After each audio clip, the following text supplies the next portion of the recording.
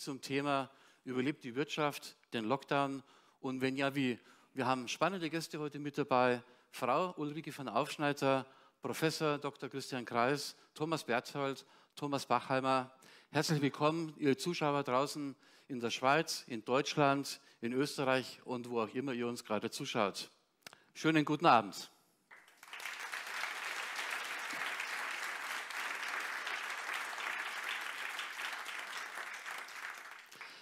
Ja, wir steigen auch ähm, gleich ein mit dem Professor Dr. Christian Kreis. Nach äh, einer kurzen Zustandsbeschreibung äh, des Wirtschaftssystems, des Finanzsystems, äh, wir dürfen ja immer wieder feststellen, dass die Wirtschaft ja schon vor dem Jahr 2020 ziemlich am Wackeln war. Wir haben eine Verschuldung weltweit in noch nie dagewesenem Ausmaß, sei es jetzt die offizielle oder inoffizielle Staatsverschuldung, die Verschuldung der Privathaushalte, der Unternehmen, des Finanzsektors. Also aktuellere Zahlen sagen uns, dass wir hier etwa bezogen auf das Weltbruttosozialprodukt mit über 400 Prozent mittlerweile verschuldet sind. Es sollte uns allen klar sein, dass selbst bei niedrigsten Zinsen das niemals zurückbezahlt werden kann.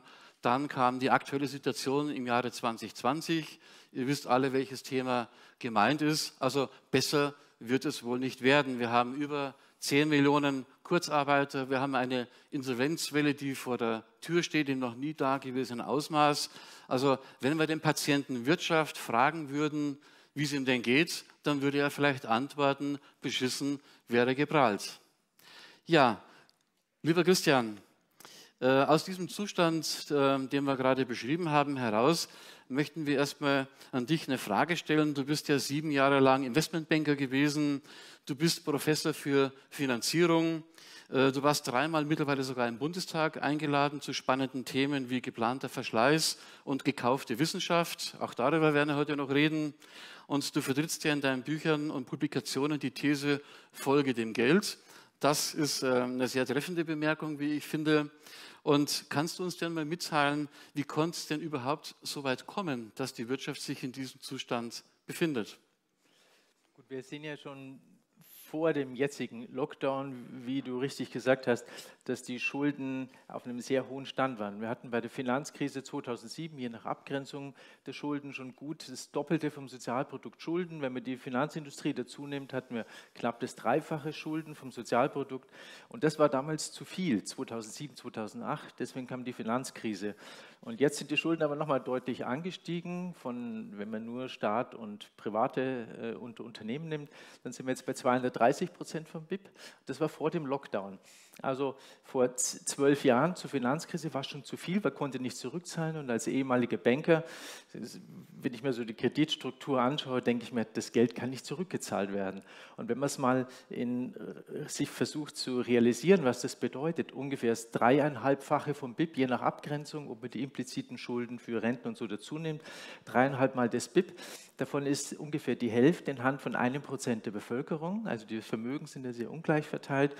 Das würde heißen, heißen, wenn wir die Schulden zurückzahlen wollen würden, müsste die ganze Erdbevölkerung eineinhalb Jahre arbeiten, nur für die oberen 1 Prozent, um es zurückzuzahlen, ohne Lohn und Brot. Nur zu, um sich das mal so ein bisschen vor Augen zu führen, was ähm, 350 Prozent Schulden vom BIP bedeutet. Eineinhalb Jahre Arbeit ohne, ohne Einkommen, nur um die Schulden abzutragen. Also es ist unmöglich, sage ich als früherer Banker, Investmentbanker, das Geld, das sehen wir nicht wieder. Ich sage nicht, dass alle Schulden zu viel sind, aber ein Teil von den Schulden ist einfach viel zu viel. Und jetzt kommt noch über diese Lockdown-Maßnahmen zum einen explodierende Staatsschulden, fast weltweit, also über USA, Deutschland, überall in einem Ausmaß wie noch nie vorher. Hm, gleichzeitig gehen die Cashflows runter durch den Lockdown. Wir hatten im zweiten Quartal diesen Jahres gut 10 Prozent Wirtschaftseinbruch auf die ganze Erde. Also jedes zehnte Produkt ist gegenüber dem Vorjahr verschwunden oder jede zehnte Dienstleistung. Gleichzeitig sind die Schulden hochgegangen und da frage ich mich als Banker, wie soll das Geld jemals zurückbezahlt werden? Und das macht mir schon ziemlich Sorge. Ja, wenn ich mir die zwei allein, den Schuldenanstieg, den dramatischen Anstieg und die Cashflow-Einbrüche anschaue, äh, dann denke ich mir, das geht nicht gut. In irgendeiner Form muss ein Schuldenschnitt kommen. Und es kann entweder geregelt sein, indem man einen Schuldenschnitt macht, aber Schuldenschnitt heißt auch Vermögensschnitt, was wiederum im Wesentlichen die oberen 1% betrifft. Ne? Und die sind gut vernetzt, haben gutes Lobbyismus. Ich fürchte, ein Schuldenschnitt kommt nicht. Und dann eine zweite Lösung wäre Inflation. Ich hoffe eigentlich auf Inflation, das würde schon funktionieren, aber ich sehe Probleme, das loszutreten. Da müssten ja die Leute mehr Pizza kaufen, mehr Handy kaufen, mehr Auto kaufen, aber die meisten Leute haben ja weniger Geld in der Hand. Und wenn das nicht kommt, dann kommt eine chaotische Schuldenbereinigung wie 2008, 2009. Viele Häuslebauer, die pleite gehen, Unternehmen. Und das ist so meine Sorge, dass wir den Weg 3 gehen, dass es so eine Bereinigung gibt. Und so ganz im Hinterkopf, wenn man in die Geschichte schaut, war eine vierte Lösung auch oftmals Krieg. Ja, Krieg hat auch funktioniert, weil wenn man so riesige Produktionspotenzial hat und zu wenig Massennachfrage, dann hat man das 1914 äh, oder 1945, 1918, kann auch über Krieg können so Bereinigungen kommen, kleine oder große. Also das sind so, aber in irgendeiner Form muss es für mich als Ex-Bank aus Banksicht muss eine Bereinigung kommen, so geht es nicht weiter. Okay, vielen Dank, äh, lieber Christian. Bevor wir über Lösungen, wie wir aus der Nummer rauskommen, weitersprechen werden, drängt sich mir aus deiner Information der Verdacht auf, es gibt da scheinbar einen Interessenskonflikt zwischen der vermögenden Weltbevölkerung und der arbeitenden, real arbeitenden Bevölkerung. Ähm, das ist schwierig zu lösen und es hängt ja eben auch ziemlich sicher und eindeutig mit dem Geldschöpfungsprozess, sprich mit dem eigentlichen Finanzsystem, wie die Dinge wirklich funktioniert sind oder wie sie eben konstruiert sind, zusammen. Und da möchte ich jetzt, bevor wir uns weiter unterhalten, unseren nächsten Gast auch nochmal begrüßen, die Frau Ulrike von Aufschneider, Buchautorin, da kommen wir auch gleich noch drauf, ehemalige äh, tätig im Bereich Investmentbanking, seit über 20 Jahren dort auch als Coach im Top-Management diverser Unternehmen eben auch tätig. Und die letzten vier Jahre hat sie sich sehr intensiv der Forschung gewidmet, wie sich eben das Finanzsystem auf unsere Gesundheit auswirkt, was letzten Endes dazu geführt hat, dass sie zu diesem Thema auch ein interessantes Buch ähm, geschrieben hat. Ja, liebe Ulrike, äh, den Zustand, wie viel Schulden wir haben, was so die Probleme damit sind, haben wir jetzt schon ein bisschen gehört. Wie siehst du denn ähm, quasi die Schuld beim Finanzsystem, beim Geldschöpfungsprozess? Was kannst du uns dazu sagen? Also die Frage, die sich ja im Prinzip allen auch so ein bisschen dann stellen sollte, ist, wo kommt denn das Geld eigentlich her? Und wir haben ja überhaupt gar keine Wertschöpfung als solches. Wir haben aber stetig steigende Berge von Geld, die wir ausweisen. Und wenn man sich das ein bisschen genauer anguckt, stellt man dann fest, irgendwo wird Geld oder ein Geldwert gedruckt, den der dann von oben rausgegeben wird über das Finanzsystem und dann weiter an die Bevölkerung gereicht wird und praktisch als Schuldscheine dann wieder von der Bevölkerung eingefordert wird. Und im Prinzip kann man sich natürlich fragen, warum macht die Bevölkerung das eigentlich mit? Man könnte ja im Prinzip eigentlich jeder von uns machen, im Keller ein paar Scheine drücken und dann an die Bevölkerung rausgeben und sagen, du schuldest mir das jetzt. Bis jetzt klappt das aber und solange die Bevölkerung das mitmacht, läuft das. Und ja, da sollte man sich mal fragen, warum machen wir denn das eigentlich und wie genau funktionieren da die Details? Ja, danke dir. Ich vermute, das hat auch ein bisschen was mit unserem Bildungssystem mhm. zu tun, welche Wissensgrundlagen denn überhaupt vermittelt werden, sei es jetzt im Bereich der Universitäten oder auch in anderen schulischen Bereichen. Da werden wir sicher uns auch nochmal damit beschäftigen. Aber das ist eigentlich sehr, sehr richtig, äh, was du uns hier eben schon mitgibst. Wir müssen wirklich der Frage nachgehen, woher kommt das Geld eigentlich? Und das heißt ja auch so schön, wer das Geld kontrolliert, kontrolliert eben auch die Welt. Und zum Thema Kontrolle der Welt, vielleicht auch speziell in Deutschland, freue ich mich jetzt sehr, den nächsten Gast eben auch begrüßen zu können, den Thomas Bachheimer aus Österreich. Er ist extra zu uns gekommen. Er war ehemaliger oder ist ehemaliger Börsenhändler, hat dort mit, wie passend an der Stelle, mit Staatsschulden gehandelt, hört, hört. Er war dort tätig in Zürich, London, Dublin und München. Er war Rohstoffanalyst und Analyst für Geldsysteme, dort für führende Häuser weltweit, also CNBC als bedeutendste Informationsquelle dort, Bloomberg, NTV. Er ist äh, unter anderem Präsident des European Gold Standard Institute und er ist vor allem auch Chefökonom der Goldversorge in Wien. Herzlich willkommen, Thomas Bachheimer. Ja, vielen lieben Dank.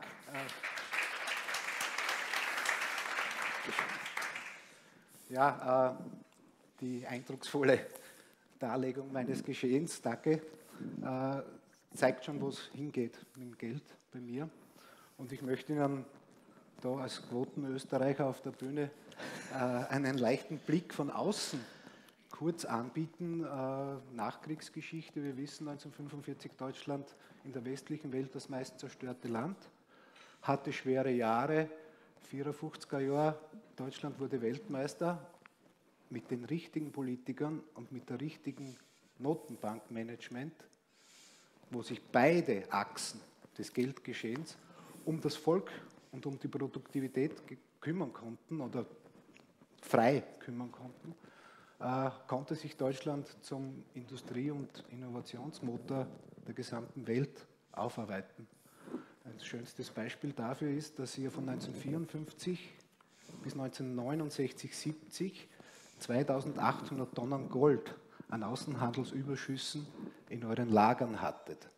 Das ist unglaublich, wenn man weiß, dass ihr insgesamt 3400 Tonnen habt jetzt. Aber 2800 Tonnen sind in 15 Jahren entstanden.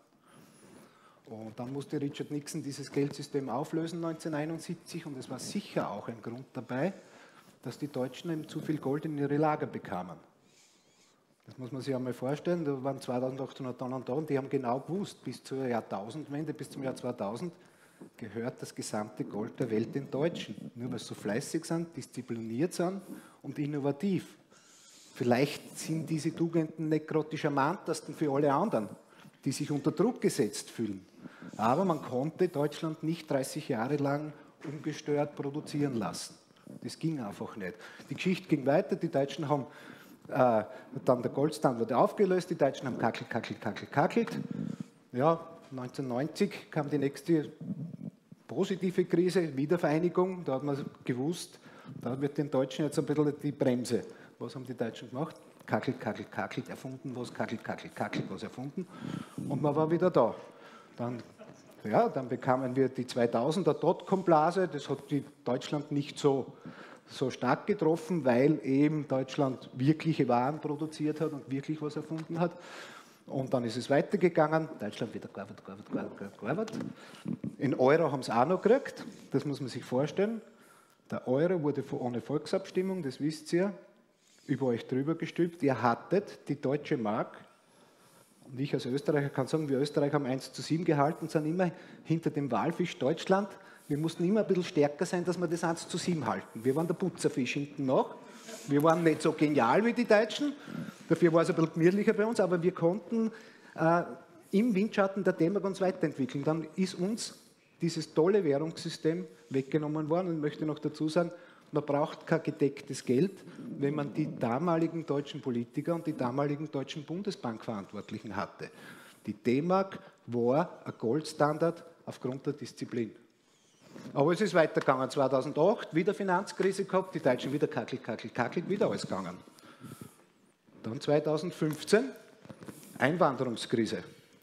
Ja, Deutschen wieder in die Hände gespuckt, die Kanzlerin, da werden wir später dazu kommen, wir schaffen das, was das bedeutet eigentlich als Aussage von einer Kanzlerin.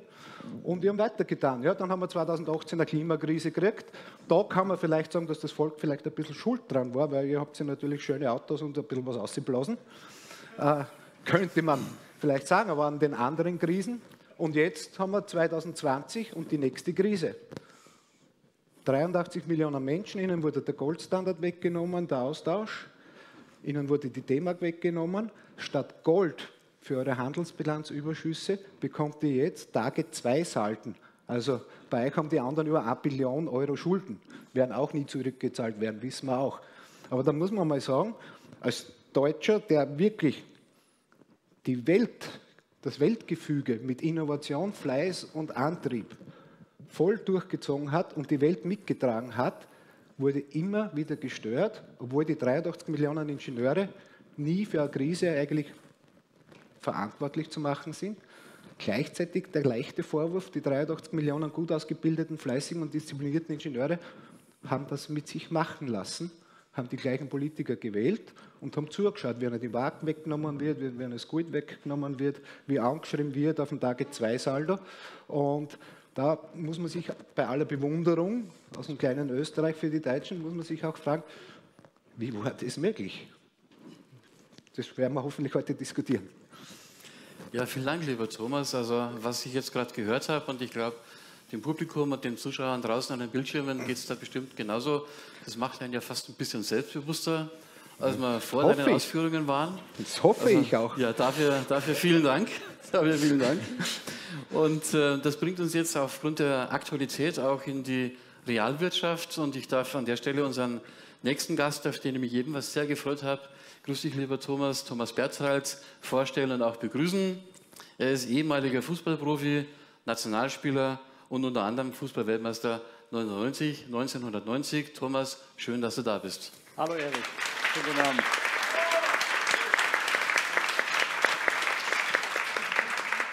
Und Thomas, was uns ähm, interessieren würde, du hast ja als Unternehmer auch wirklich einen extremen Bezug zur Realität. Und Ja. vielleicht magst du uns dort aus deiner Sicht mal Genau. das eine oder andere schildern. Genau, mein aktuelles Projekt äh, ist ein Stadion-Projekt in Verona. Wir haben im Winter 2019 den Zuschlag bekommen. Das ist eine öffentliche Ausschreibung. Da wird ein privat finanziertes, multifunktionales Stadion gebaut für zwei Vereine, inklusive Musikveranstaltungen. Da wird ein Theater reinkommen, da wird ein Hotel reinkommen, Retail, Shops. Also ein Betrieb, der 365 Tage läuft, da werden hunderte von Arbeitsplätzen entstehen. Äh, Wir hatten natürlich jetzt auch durch diesen Lockdown einfach das Problem, dass wir acht Monate Stillstand hatten, weil klar, man kann Telefonkonferenzen machen, Zoom-Konferenzen machen, aber Menschen, die aus New York anreisen mussten, äh, es ging nicht. Unser Betreiber wollte Marktumfragen machen bei den Fans, bei den Zuschauern, bei den Konsumenten, ging auch nicht. Ähm, Was wir jetzt sehen werden, wie letztendlich die Banken, Fonds, mit denen wir im Austausch sind, Private Equity, die Risikobewertung machen bei dem Thema Stadion. Was wir auch noch nicht einschätzen können, ist, wie die Versicherungswelt ausfällt, weil man kann ja auch sich gegen Pandemien versichern lassen, also wie das zum Beispiel Wimbledon gemacht hat. Wimbledon ist ja einer der großen äh, Veranstaltungsplayer gewesen, die das komplette Turnier versichert hatten. Die haben dann, ähm, glaube ich, 130 Millionen Pfund ersetzt bekommen. Das sind alles so Faktoren, die kamen jetzt neu dazu in das, in das Projekt. Es braucht viel Zeit, braucht viel Bearbeitung und äh, jetzt, wie gesagt, nach den Ferien, es war noch Sommerpause auch noch, im September ähm, wird die Kiste wieder angeschmissen, damit wir jetzt zeitnah, spätestens im Mai, so weit sind, um das Projekt final abzugeben mit einer Finanzierung, mit einem Flächenplan, damit dann der Tender eröffnet werden kann. Und nach vier Monaten ist dann eigentlich der Tender offiziell entschieden. Wir gehen in unserem Fall aus, dass wir keinen Mitwettbewerber haben, weil es zu komplex ist und zu teuer ist, jetzt nochmal anzutreten. Also von daher sind wir auf der einen Seite guter Dinge.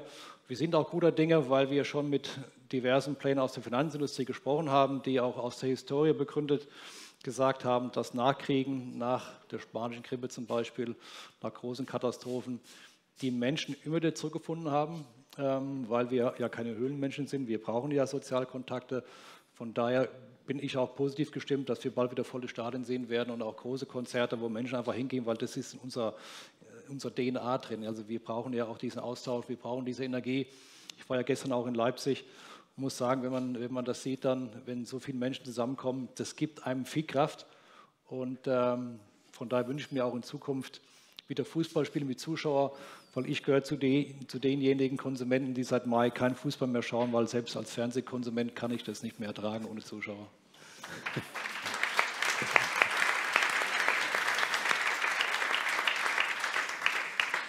Ja, das glaube ich, können wir alle sehr, sehr gut nachvollziehen. Da noch eine Nachfrage auch dazu. Wir gehen mal optimistisch davon aus, dass es alles gut wird.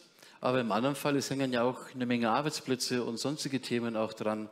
Magst du vielleicht ähm, dazu noch was sagen, was da vielleicht auch für einen Unternehmer oder für die Geldgeber im, im Risiko steht? Was, was sind da die Szenarien? Ja, Erich, du bist ja aus dieser Finanzbranche. Die Finanzbranche bewertet immer jedes Projekt nach Chancen, nach Risiken. Und äh, die Risikobewertung wird bestimmt anders ausfallen. Das werden wir sehen dann an der Bewertung, am Rating. Aber da mache ich mir jetzt weniger Sorgen.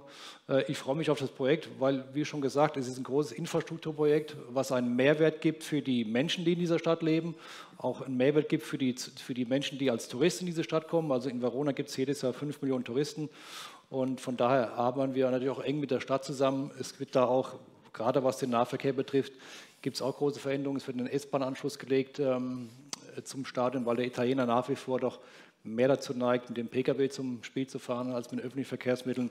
Also ich denke letztendlich, dieses, sag mal, wir, wir sehen das immer ganzheitlich. Das ist so ein 365-Grad-Projekt äh, in vielen diversen Themen. Die Ganzheitlichkeit, ähm, die wird, ob das jetzt gerade Thema zum Beispiel äh, Food und Beverage, also Getränke und Essen, Das geht mit der Verpackung los. Was machst du mit Lebensmitteln, die nicht konsumiert werden? Also diese ganze Kette sehen wir immer in der Nachhaltigkeit und natürlich immer unter dem grünen Aspekt. Muss, wir wollen also ein, ein grünes Stadion bauen. Äh, Energie, Wasser ist ein großes Thema, nachhaltige Produktionsstoffe. Das ist ein großes Thema heute. Von daher ist es für mich immer spannend als Nicht-Mathematiker oder Banker oder Ingenieur mit so vielen interessanten Menschen zusammenkommen, die einen Ingenieur-Background haben. Ähm, da arbeiten wir zum Beispiel mit einem großen Büro aus Stuttgart zusammen, Schleich Bergermann und Partner. Das ist wieder faszinierend, was die für Lösungen parat haben. Oder mit interessanten Architekten aus anderen europäischen Ländern, äh, um einfach so ein bisschen den, den Horizont auch zu erweitern. Aber wie gesagt, Erich, ich ver verwende auch gerade sehr viel Zeit mit Demonstrationen und mit Bühnenauftritten. Das kostet auch sehr viel Kraft, weil ich äh, und meine Frau ähm, der Meinung sind, dass Recht immer, immer vor Unrecht stehen muss und die Wahrheit immer vor Unwahrheit. Deswegen sind wir da auch aktiv.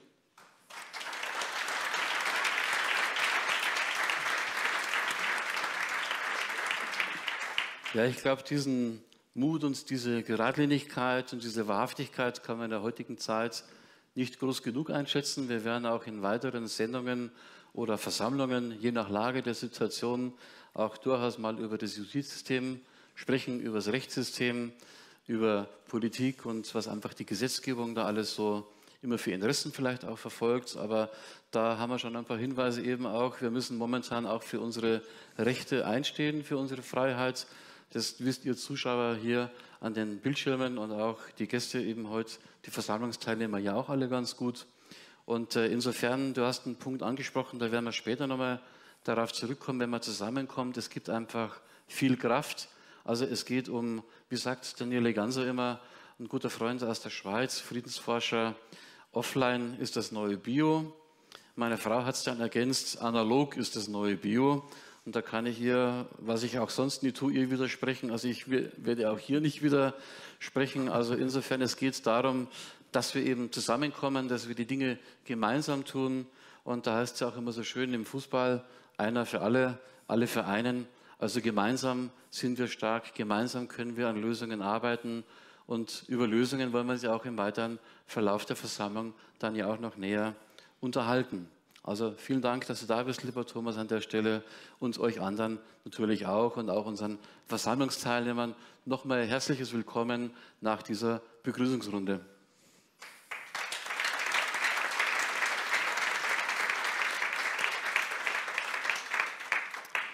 Und das haben wir ja gerade gehört, eben auch von einem gestandenen Unternehmer, der das seit einigen Jahren sehr erfolgreich eben auch macht dass es ja immer auch mit gewissen Herausforderungen verbunden ist und wie es mit Herausforderungen ja immer so ist. Zum einen heißt es ja, nur wer sein Ziel kennt, kann es treffen.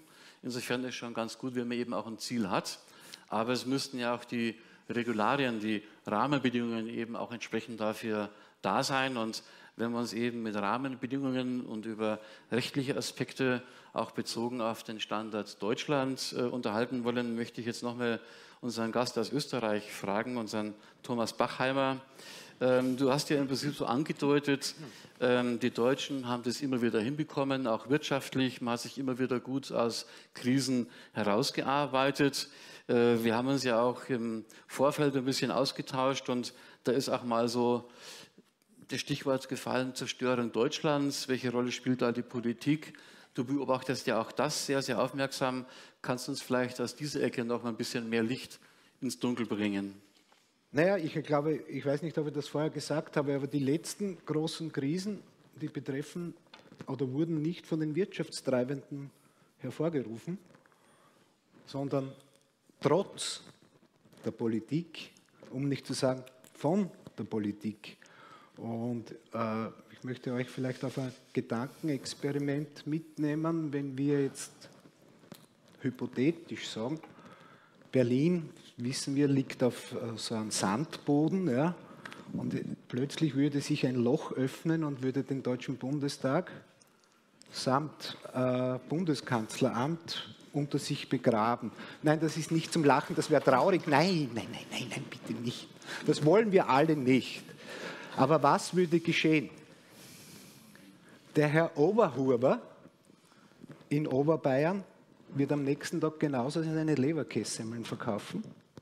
In Baden-Württemberg würde ein Installateur genauso irgendwelche Rohre verlegen oder was ein Installateur so tut. Und in Oldenburg würden auch die Reifenhändler ihr Geschäft aufsperren. Es würde sie nichts ändern. Wir hätten zwar furchtbar traurige äh, Trauertage, Trauerwochen, weil die alle weg sind, aber der innere Antrieb der produktiven Teile dieser Gesellschaft wäre weiterhin gegeben und über die Monate einer Regierungslosigkeit wage ich sogar zu behaupten, dass das Inlandsprodukt steigern würde, weil der Mensch, der produktive Mensch braucht keine Barrieren. Und meine Message dazu ist, die wirtschaftliche Lage, in der wir jetzt befinden und wir die meisten davon keine Schuld haben, ist der Tatsache geschuldet, dass wir produktiven Menschen uns von unproduktiven Menschen sagen lassen, wie wir was zu produzieren haben. Jetzt muss man sich vorstellen, in einem Land von Immanuel Kant, Schiller, Goethe, geschieht es binnen 60 Jahren, dass ein Bankkaufmann 83 Millionen Deutschen sagt, ihr müsst Masken auf, wenn sie produziert. Das ist ja eine Peinlichkeit sondergleichen und eigentlich ein Drama. Und es ist auch in Österreich so. Also wir, wir lassen uns von einen Studien abbrechen und dann ein Volksschullehrer der Gesundheitsminister ist, die noch nie in ihrem Leben irgendwas produziert haben. So ein Volksschullehrer hat Bildung, das möchte ich ihm nicht unterstellen. Aber beide haben nie Steuern bezahlt, weil sie haben die Steuern ja von Steuergeldern bezahlt. Die haben de facto nie was erwirtschaftet. Und das Ähnliche ist in der ganzen Junta, die da in Berlin sitzt. Diese Menschen zahlen keine Steuern, keine effektiven Steuern und bestimmen über die produktiven Teile. Und der erste Vorschlag, der mal dahin gehen sollte, wäre, dass jeder von uns 83 oder mit, mit die Österreicher, keine Anschlussgedanken von uns 90, nein, nein, nein, von uns 90 Millionen, mit den Schweizer von uns 98 Millionen. Wenn jeder von uns einmal irgendwo nur, wo es nicht gefährlich ist, einmal sagt, na stopp, das machen wir jetzt nicht, was du mir da auftragst, weil du hast noch nie in deinem Leben was produziert. Und die produzieren aber die Krisen, das produzieren sie schon. Und da da liegt für mich die Krux, ich, ich komme immer eher vom Menschen her ja, und nicht so technisch, ich bin Österreicher. Ja. Und da liegt bei mir die Krux, wenn wir alle Menschen kleine Einschränkungen der Politik geben. Also ich wähle sowieso nicht, ja, aber das empfehle ich euch jetzt nicht. Bei euch ist die Kacke am Dampfen, ihr sollt alle einmal wollen gehen, aber kleine Einschränkungen und denen Einhalt gebieten, nur im Kleinen, wo es im straffreien Raum ist. Ich weiß, es wird immer schwieriger in Deutschland, weil reist einmal als Österreicher ein und schlaft in einem Hotel in Deutschland seit zwei Monaten. Du bist markiert. Sind wir schon wieder so weit, ja? Also, und das muss man sich halt, und der Hotelier ist auch produktiv und ich bin auch produktiv, wenn ich da was sage. Ob das jetzt sinnvoll ist, was ich sage, weiß ich nicht, aber ich mich bemüht. Ja? Und, und, da müssen wir dran denken, bitte, und das ist wirklich ein Aufruf, jeder für sich soll schauen, wo er diesen Staatsapparat am Stopp, am Türstopper hinsetzen kann. Damit könnte man innerhalb von wenigen Monaten schon relativ viel anrichten, weil die brauchen uns. Weil wenn wir im Sandloch verschwinden, die sind nicht mehr lang da, weil die brauchen unsere Steuergelder. Wir brauchen die aber nicht. Aber es ist umgekehrt. Nachdenken drüber und im legalen Raum bitte. Also jetzt nicht Revolution, das ist das Letzte, was wir brauchen, aber im legalen Raum und das ist einmal so die Grundmessage von mir. Danke dir.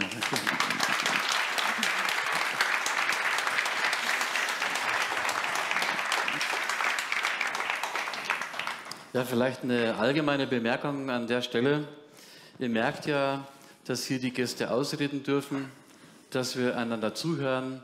Es gibt ja andere Versammlungsformate, da ist es nicht so.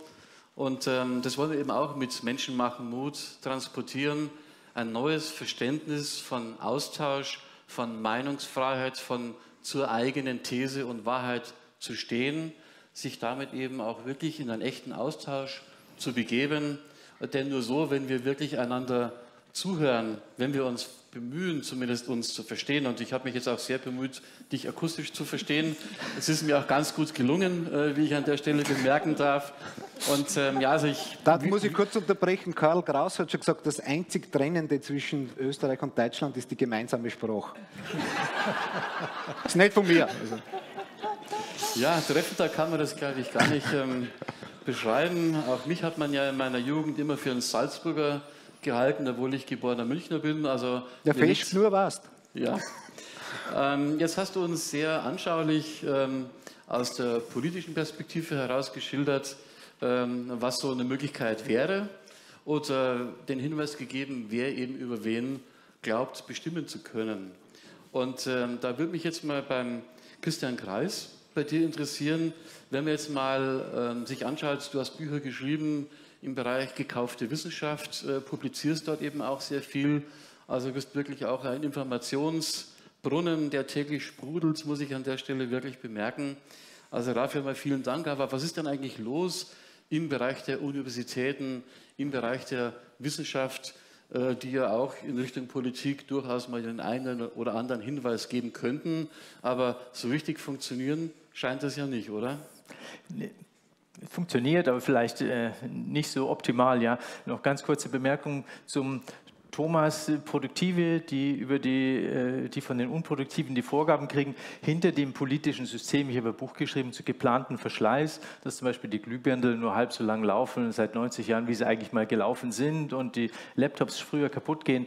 Hinter dem ganzen System stehen natürlich ganz massive Kapitalinteressen, große Konzerne, Eigentümer hinter den Konzernen, die treiben, dass die Produktivität tatsächlich geringer wird, dass die Produkte halb so lang halten, wie sie halten könnten.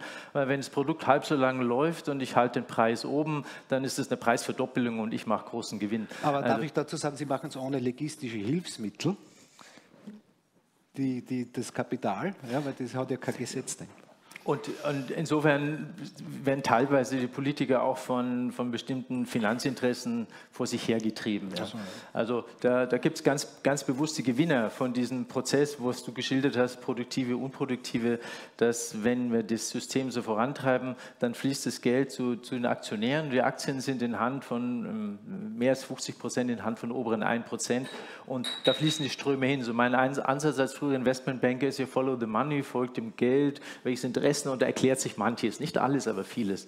Und zur geplanten, äh, zum, zum gekauften Wissenschaft habe ich jetzt im August mein zweites Buch dazu mm, veröffentlicht. Da sieht man auch, dass momentan in Deutschland, wenn man den ganzen Forschungsetat für das ganze F&E, Forschung und Entwicklung in Deutschland nimmt, gut über 100 Milliarden pro Jahr, dann sind äh, zwei Drittel sind sowieso innerhalb der Industrie, das ist auch nichts dagegen zu sagen, ja, und von dem letzten Drittel ist wiederum die Hälfte sehr stark von der Industrie mit beeinflusst, sodass wir in Deutschland momentan ungefähr fünf Sechstel gelenkte Forschung haben und ein Sechstel freie Forschung. Selbst an den Hochschulen, wo ich hier tätig bin, gibt es die Drittmittel, sind fast 50 Prozent aller Finanzierung. Das heißt, dass nur noch jeder zweite Euro frei ist, wo der einzelne Forscher sagen kann, ich will über das und das äh, äh, forschen oder auch unterrichten, sondern jede zweite Euro ist Vorgabe über, über meistens über verschiedene Gremien, aber wo sehr stark die Industrie drin ist. Also wir haben die Industrie ziemlich gut, eigentlich äh, die Forschung relativ stark schon im Griff von sehr starken Wirtschaftsinteressen. Und das sieht man ganz besonders stark. Ich habe vor kurzem äh, ein kleines Papier veröffentlicht. Zu, es gab eine, eine ganz maßgebliche Studie zu Corona-Lockdowns von dem Imperial College in London von dem Professor Ferguson. Der Professor Ferguson heißt seither auch der Professor Lockdown. Der hat am 16. März eine Studie veröffentlicht. Wenn wir nichts machen, wenn wir Covid einfach laufen lassen, das, ist, das Thema ist ja Lockdown, ja, ähm, dann werden wir 40 Millionen Tote sehen. Also wir brauchen einen harten Lockdown, mindestens fünf Monate. Und diese, ein Tag später ist dann in England dieser Lockdown beschlossen worden und dann ging es über die angelsächsische Welt, fast in die ganze Welt rein, auch in die dritte Welt, in Entwicklungsländer, die sich ja stark am westlichen Denken orientieren. Und äh, dieser Professor Lockdown Ferguson, der fällt auf, wenn man jetzt die Geschichte nimmt, äh, Vogelgrippe, äh, Rinderwahn, Schweinegrippe, da hat er jedes Mal gesagt, sagen wir mal, es gibt drei Millionen Tote und dann hat es 300 Tote gegeben. Oder es gibt 10 Millionen Tote und dann hat es 5000 Tote gegeben und es gibt 240 Millionen Tote, haben wir 300 Tote gehabt. Also der war in der Regel, wenn Sie die, die letzten, seinen Track Record anschauen, die letzten 15 Jahre, war er so Faktor 10.000 daneben gelegen. Also ein ziemlich blindes Huhn, ja? Systematisch systematisch daneben. Und jetzt kommt er mit Modell an und sagt, wenn wir nichts tun, dann haben wir 40 Millionen Tote, wir müssen impfen. Und immer hieß es, Lösung ist Impfen. Und wenn man sich das Imperial College anschaut, die haben allein dieses Jahr 79 Millionen Dollar von der Gates Foundation bekommen, in den letzten zehn Jahren 190 Millionen und seit zehn Jahren geht die Who's Who der Pharmaindustrie da ein und aus. Die kooperieren ganz eng mit der Pharmaindustrie. Was nicht geforscht ist, ist zum Beispiel Prophylaxe, Gesundheit, frische Luft. Also, denn das Schlimmste, was der Pharmaindustrie passieren kann, wäre gesunde Menschen.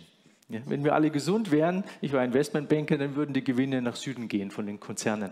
Also was ich sagen will, an diesem Imperial College äh, die, von dem maßgeblich der Lockdown auf der ganzen Erde ausgegangen ist. Sogar die Diskussion heute, Great Barrington, Eindämmen versus, versus Suppression, äh, diese ganze Diskussion ist am 16. März veröffentlicht worden von einem Mann, der vollkommen blind ist in Prognosen und jetzt wieder vollkommen blind ist. Alle Prognosen, die er gemacht hat für dieses Jahr, sind komplett falsch. Wenn man zum Beispiel Schweden anschaut, hat er 82.000 Tote prognostiziert, heute haben 6.000, obwohl die keinen Lockdown gemacht haben, keinen harten. Ja. Also wieder vollkommen falsch und immer Impfen ist die Lösung. Naja, da sieht man, wo dieser Spirit herkommt. Ja? Der wird von der Impfindustrie infiltriert, wird über viele Zuwendungen, dann werden die Leute rausgesucht, die eben besonders ähm, Impfen propagieren, ähm, der muss auch nicht mal lügen, sondern man nimmt nur die Leute raus, die eben nicht an Prophylaxe, nicht an Gesundheit denken, sondern die einfach immer impfen, impfen, impfen und die kriegen das Mikrofon hingehalten. Und zum Schluss, in Deutschland ist es ein kleines bisschen ähnlich, weil der Herr Drosten, der hat vor zehn Jahren auch gesagt, die einzige Lösung, das war glaube ich die Vogelgrippe, ist impfen, impfen, impfen. Das ist ein ganz gefährliches Virus. Der ist auch vollkommen blind gewesen, dieser Mann. Also ein wirklich ein zertifizierter Fehlprognostiker, nachgewiesen. Und je mehr man fehlprognostiziert, umso mehr kriegt man das Mikro in die Hand.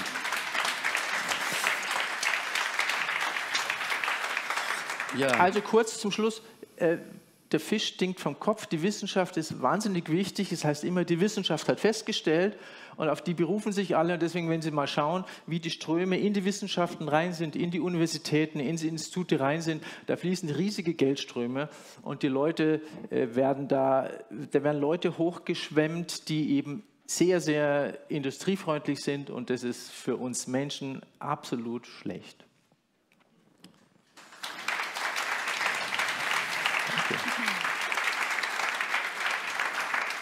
Ja, lieber Christian, ich äh, danke dir sehr für das Aufzeigen dieser interessanten Zusammenhänge, die, glaube ich, sehr, sehr wichtig sind, die auch vielen Menschen nicht immer so bekannt sind. Und wenn wir uns jetzt über Geldströme, über diese Zusammenhänge jetzt unterhalten, möchte ich nochmal zu dir kommen, liebe Ulrike.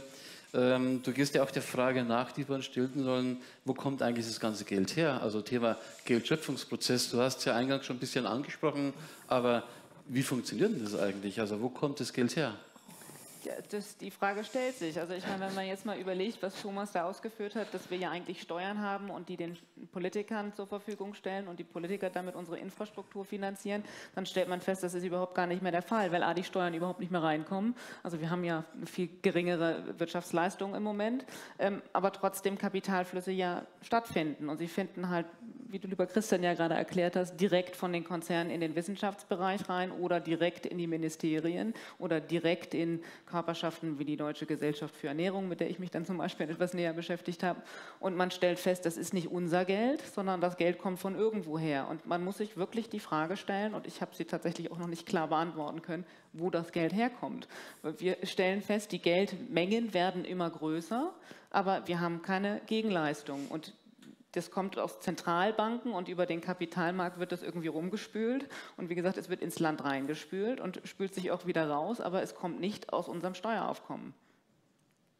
Ja, absolut. Also ich möchte an der Stelle noch ergänzen, also wer sich für das Thema Geldschöpfung, wo kommt Geld eigentlich her, interessiert und sich näher beschäftigen möchte, dem kann ich den Wirtschaftsblog von Professor Norbert Hering nur wärmstens empfehlen, einer der einflussreichsten Denker im geldpolitischen Bereich. Also kostenfreie Newsletter könnt ihr abonnieren.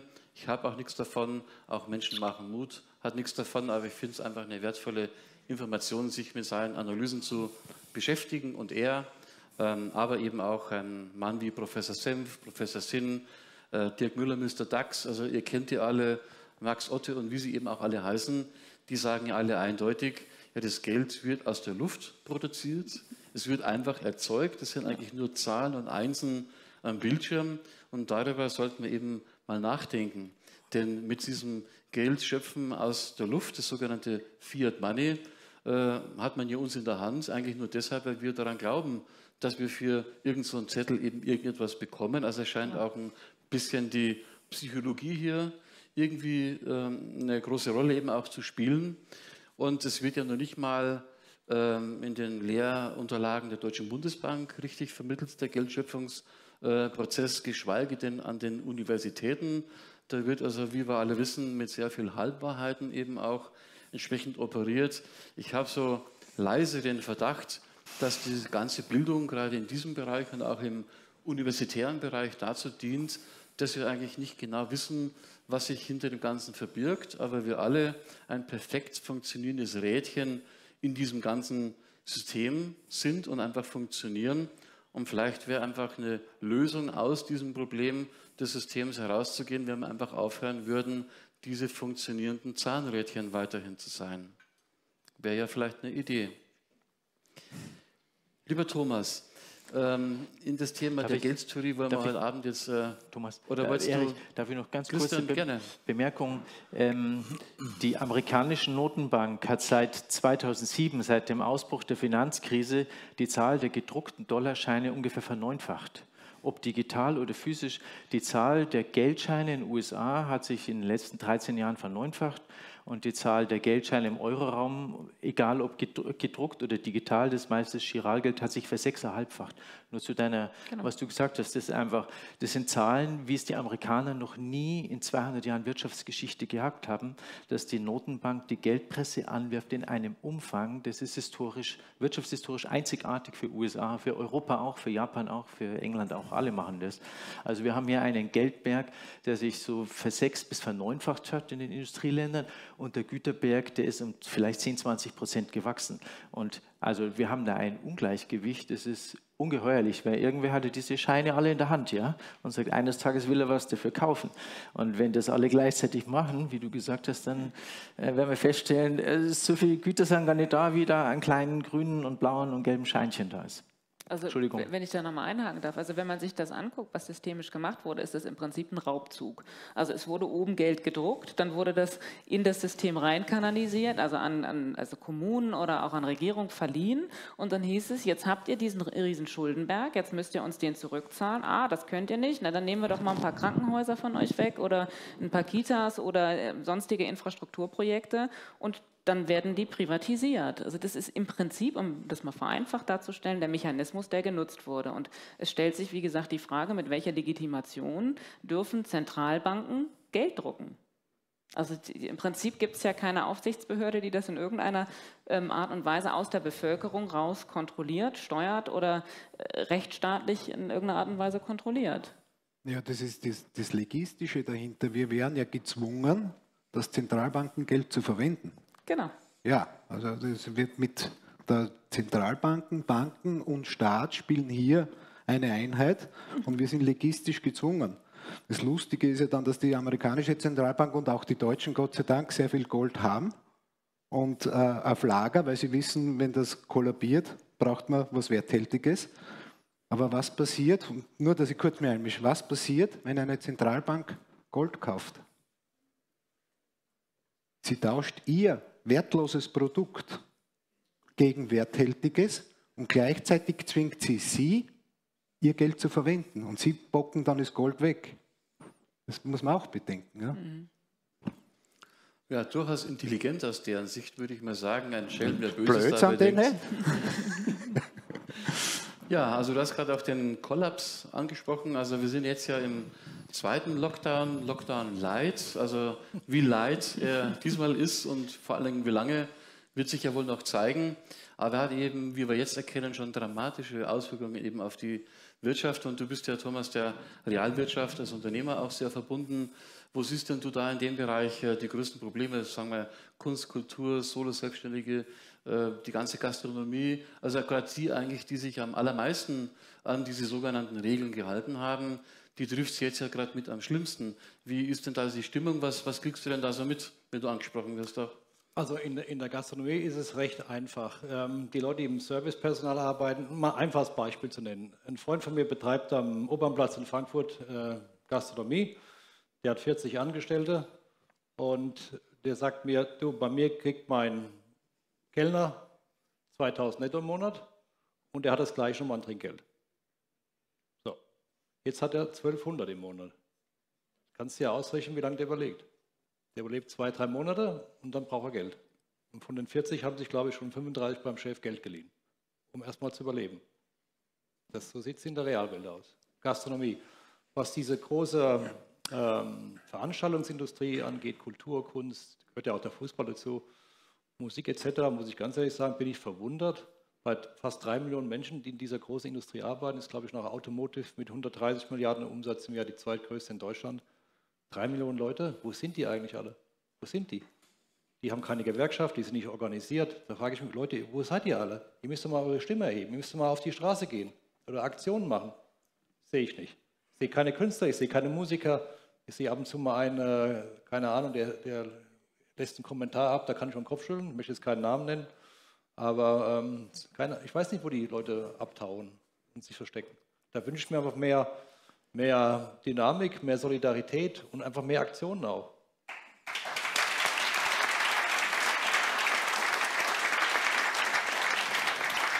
Es sind ja auch in erster Linie ist ja auch alles selbstständige Menschen. Und wenn man sich mal für diesen selbstständigen Weg entschieden hat, da, da gehst du ja auch nicht gleich äh, zum Amt und meldest Hartz IV an. Die wollen ja auch ihr, ihr eigenbestimmtes Leben äh, beibehalten. Und jeder, der mit Leidenschaft, keine Ahnung, Bühnenbauer ist ja, oder Musiker ist, der möchte einen morgen umschulen und will jetzt S-Bahn-Fahrer werden oder Busfahrer werden. Von daher, wie gesagt, ist es für mich einfach unerklärlich in dieser Gesellschaft, dass es so viele Menschen gibt, die das alles so noch akzeptieren. Und was, was ihr jetzt gesagt habt hier über die Finanzindustrie, das ist doch letztendlich nur die Spitze vom Eisberg. Das betrifft doch alle Lebensbereiche in unserer Gesellschaft. Uns wird immer was vorgegaukelt über alle Themen, die wir haben. Umwelt, Einwanderung und, und, und. Und ich habe es schon ein paar Mal dir auch privat erzählt. Äh, wenn wir mal in Berlin waren, ähm, weil wir da noch Familie haben und einen Freundeskreis, die teilweise auch wirklich von den jetzigen Entscheidungsträgern da einen privaten Draht hin haben. Weil die, die Aussage zu jedem Thema immer die gleiche. Egal über was wir gesprochen haben, haben die immer gesagt, das interessiert doch keinen hier. Das ist eine erschreckende, aber erschreckend. danke auch ehrliche ja. Antwort dazu. Ja. Und diese große Irreführung, die wir jetzt seit acht Monaten erleben, dass man hier an Tatsachen, an Fakten vorbei äh, eindimensional eine Bevölkerung in Angst und Schrecken versetzt. Was ist denn das für eine Politik? Politik soll doch vereinen, die soll doch den Leuten die Angst nehmen. Wir haben hier nur Panikmache seit acht Monaten.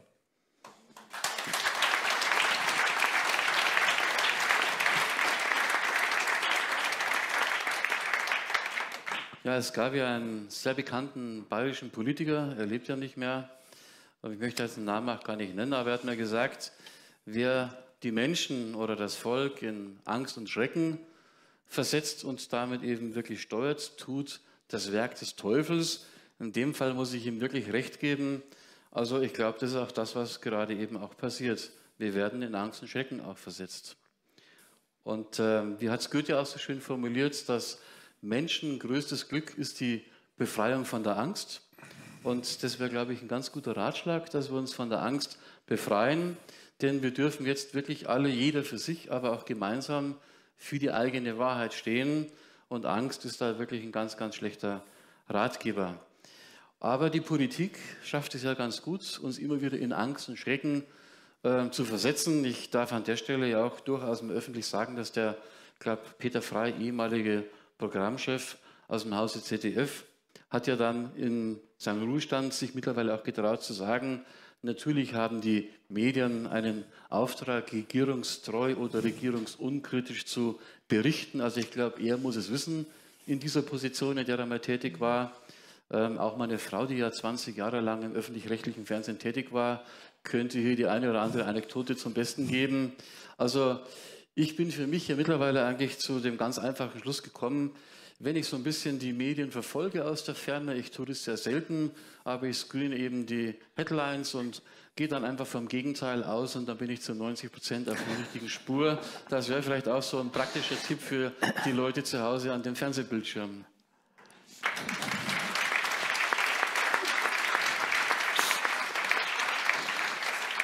Erich, ich möchte noch eins sagen. Ich meine, die Menschen, die jetzt heute Abend hier in dem Raum sind, sind ja sowieso schon mit einem anderen Bewusstsein ausgestattet. Aber die vielleicht zuschauen, Streaming zuschauen, das ist meine Message eigentlich an alle. Leute, das ist euer Leben. Da seid ihr alle für eigenverantwortlich. Mhm. Ihr braucht keinen, der euch irgendwelche Vorschriften macht. Jeder kann sich selbst um seine Gesundheit Gedanken machen, um seine Ernährung, um seine Kinder, um sein Leben. Und das ist doch, wir wollen doch selbstbestimmt leben. Wir wollen doch keinen haben, der uns wegen jedem Käse irgendwelche Vorschriften macht. Absolut. Also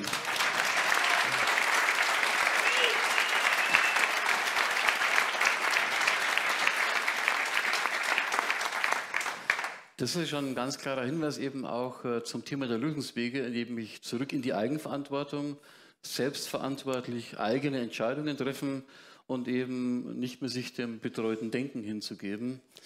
Ähm, leider, machen, leider, machen das äh, noch viel zu viele das Hobby des betreuten Denkens.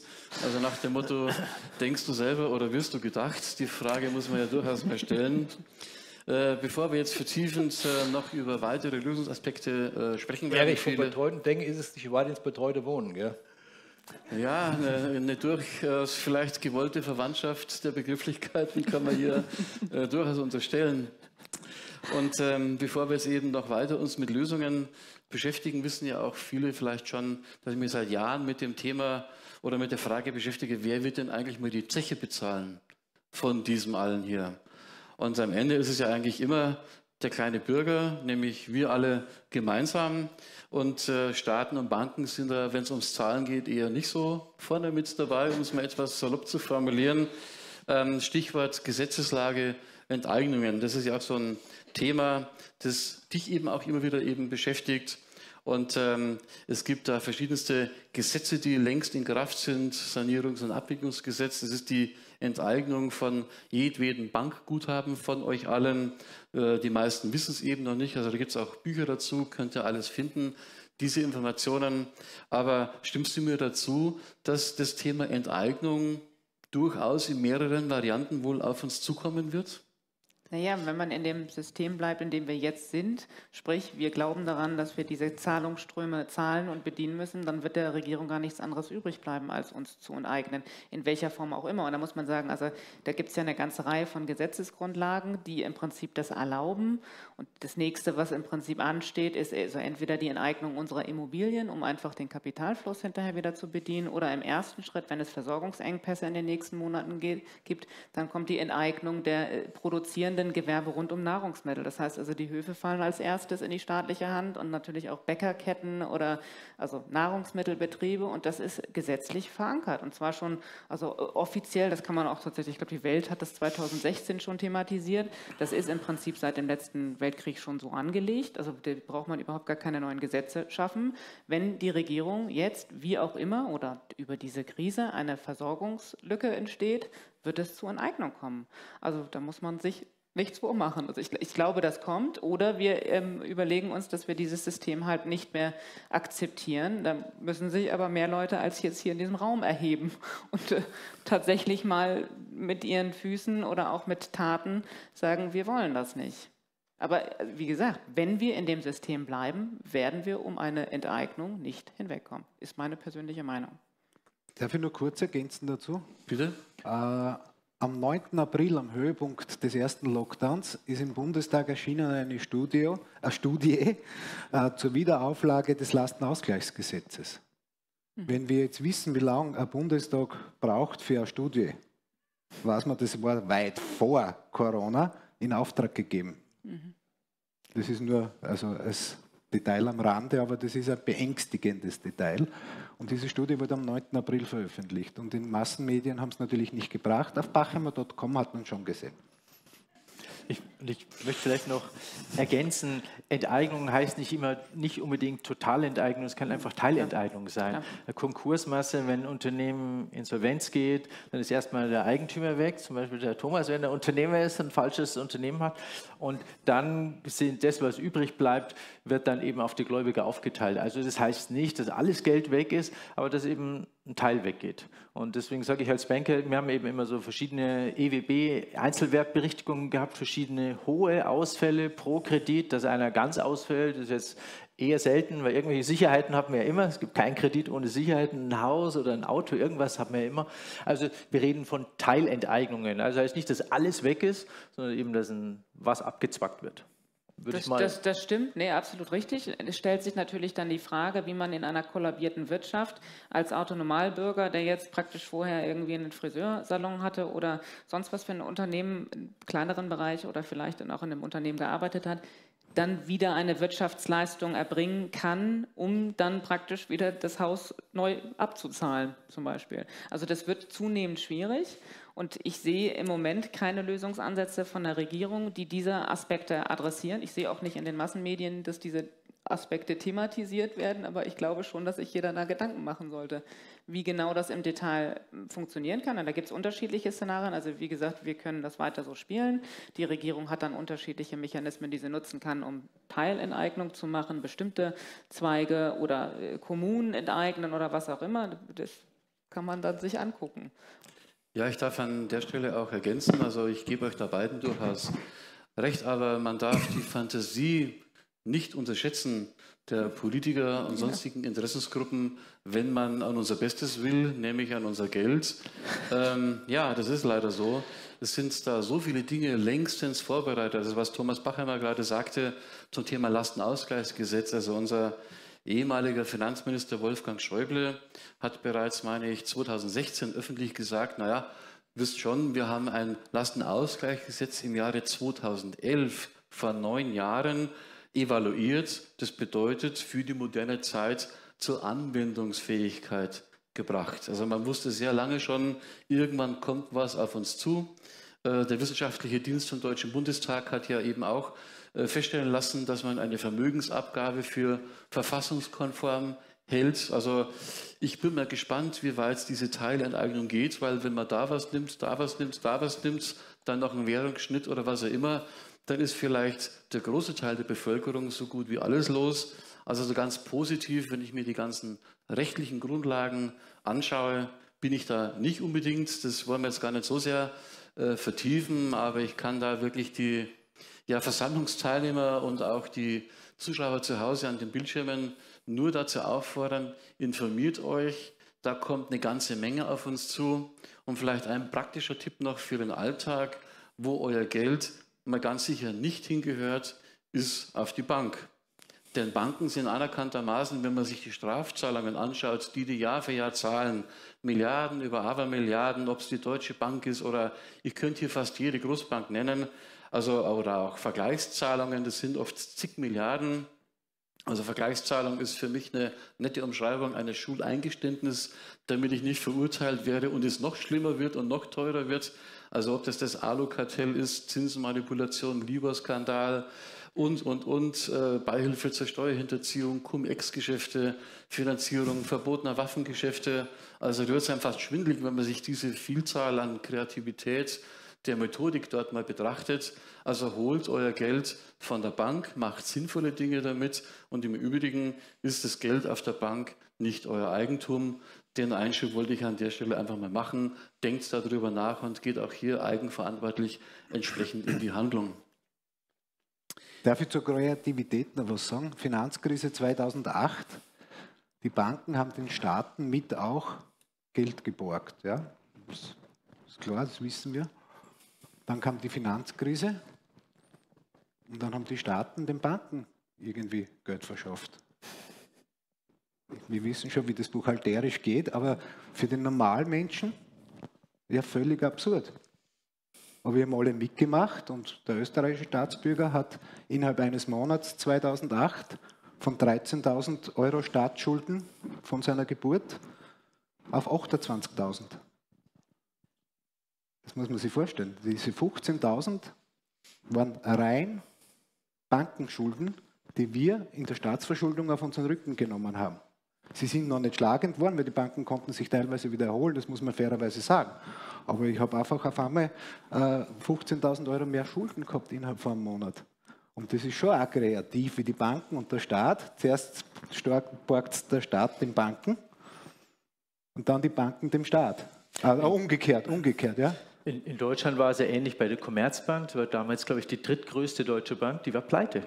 Ja, und Regierung Merkel hat Anteile, hat Aktien an der Commerzbank gekauft. Drittgrößte deutsche Bankpleite, AIG, American Investment Group, die größte US, der größte Versicherungskonzern der Erde war pleite und die US-Regierung hat den gerettet.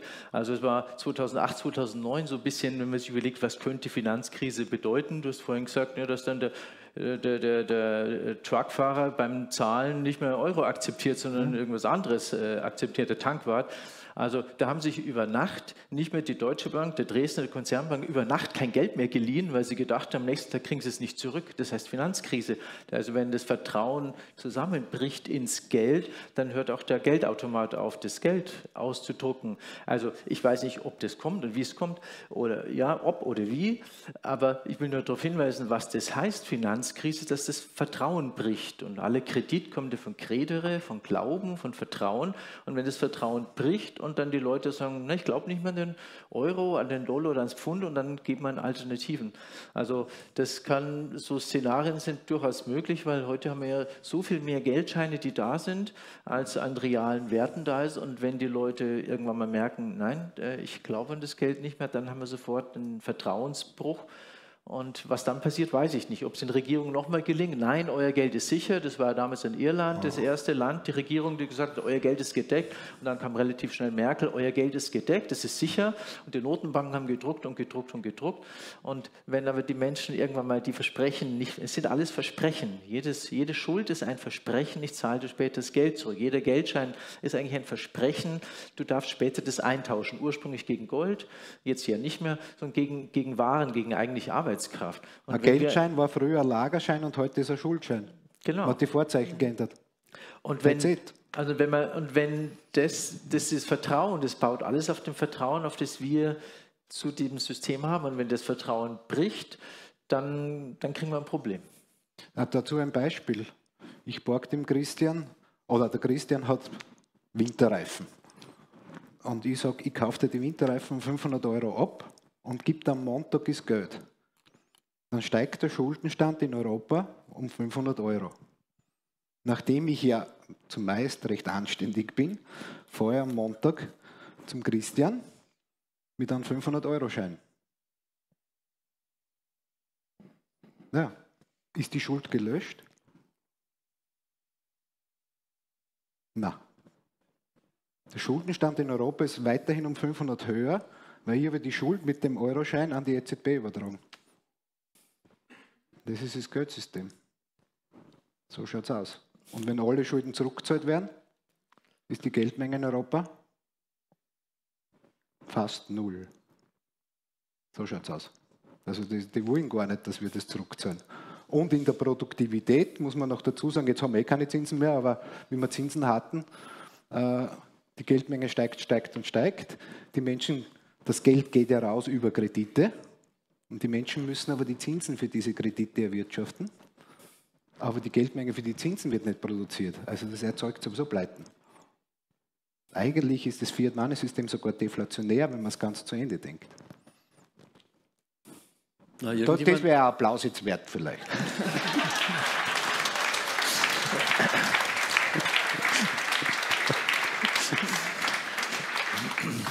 Na, ich habe mal gelesen, echte Profis überfallen keine Bank, sie gründen eine. Sie gründen eine Bank. Ja. Von, von, Bert Brecht. Ja, was ist schlimmer als ein Bankraub, eine Bank gründen? Ja, ja, ja Brecht hat es wieder mal gewusst, genau.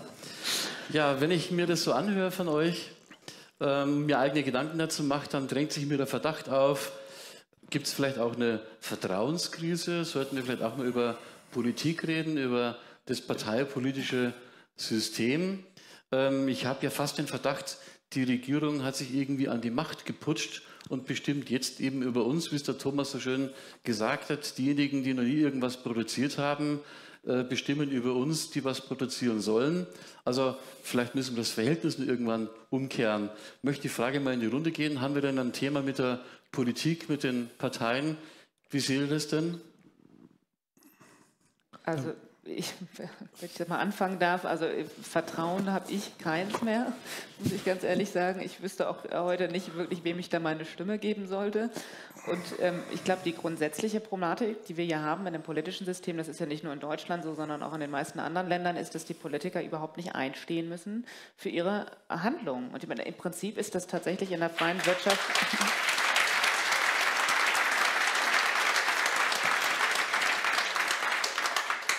Und das ist in der freien Wirtschaft leider Gottes ganz ähnlich. Also wenn ich ein CEO von einem aktiengelisteten Unternehmen bin, dann bin ich im Prinzip rechtlich fast nicht wirklich belangbar. Also ich kann schalten und walten über das, die Gelder des Unternehmens.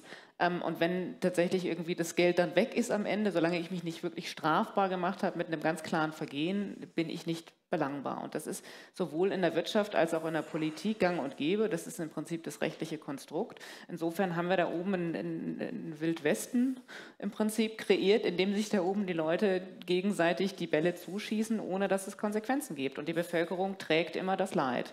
Und das ist eigentlich ein System, was wirklich für uns alle nicht gut ist, inklusive der Politiker. In weiten Fällen muss man ja sagen, die haben ja auch wieder Kinder oder Großeltern, die in Altersheimen betreut werden und im Zweifelsfall jetzt sich dem auch nicht mehr entziehen können aus diesem System, das Sie jetzt nun geschaffen haben.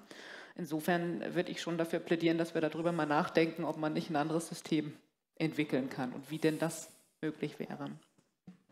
Ja, dann können wir es, glaube ich, anschließen. Also darf ich vielleicht noch ergänzen. Äh, Im Grundgesetz steht, die Parteien wirken bei der politischen Meinungsbildung mit. Das habe ich als Schüler irgendwie auf der Schule gehört. Da dachte ich mir, naja, die haben es doch in der Hand eigentlich. Und das Zweite, im Grundgesetz steht, der Abgeordnete ist ausschließlich seinem Gewissen verpflichtet. Und jetzt haben wir aber im Bundestag und ich glaube auch in den Landesparlamenten Fraktionszwang.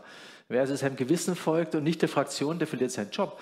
Also wir widersprechen eigentlich mit unserem momentanen Parteiensystem permanent unserem Grundgesetz. Wir haben Fraktionszwang, das ist Maulkorb, und, ja, und wir haben Parteienzwang. Und wir haben Parteienzwang und wen soll man dann noch wählen? Und äh, keiner ist haftbar. Und deswegen wäre eine Idee direkte Demokratie. Die Schweiz ist da ja äh, Vorbild, das Nachbarland von Österreich und von uns. Ähm, direkte Demokratie oder vorhin fiel das Wort, wer hat es genannt? Du, glaube ich. Basisdemokratie. Ja. Basisdemokratie. Ja. Nicht auch ein Freund davon. Ja, darf ich zur Vertrauenserosion noch was sagen? Das ist natürlich ein Prozess, der über Jahrzehnte gegangen ist und der jetzt den finalen Punkt findet, ob 2021 oder 2025 ist eigentlich egal. Aber es liegt auch am Geldsystem. Sie müssen sich vorstellen, normale Republiken hatten eine Finanzierungsmöglichkeit der Staatsfinanzierung und das war die budgetäre Staatsfinanzierung. Man konnte nur das ausgeben, was ich an Steuern einnahm. Und es war die persönliche Steuerlast direkt vergleichbar mit den Staatsausgaben.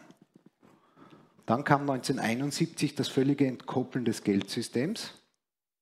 Und dann haben die Leute anfangen können mit Tricks, mit geldpolitischen Tricks, die monetäre Staatsfinanzierung auszuschalten, äh, die budgetäre Staatsfinanzierung auszuschalten und wir kamen in die monetäre Staatsfinanzierung. Das ist eben Staatsfinanzierung mit diesen Geldtricks. Bei Inflation verliert man, bei einem Crash verliert man und so weiter.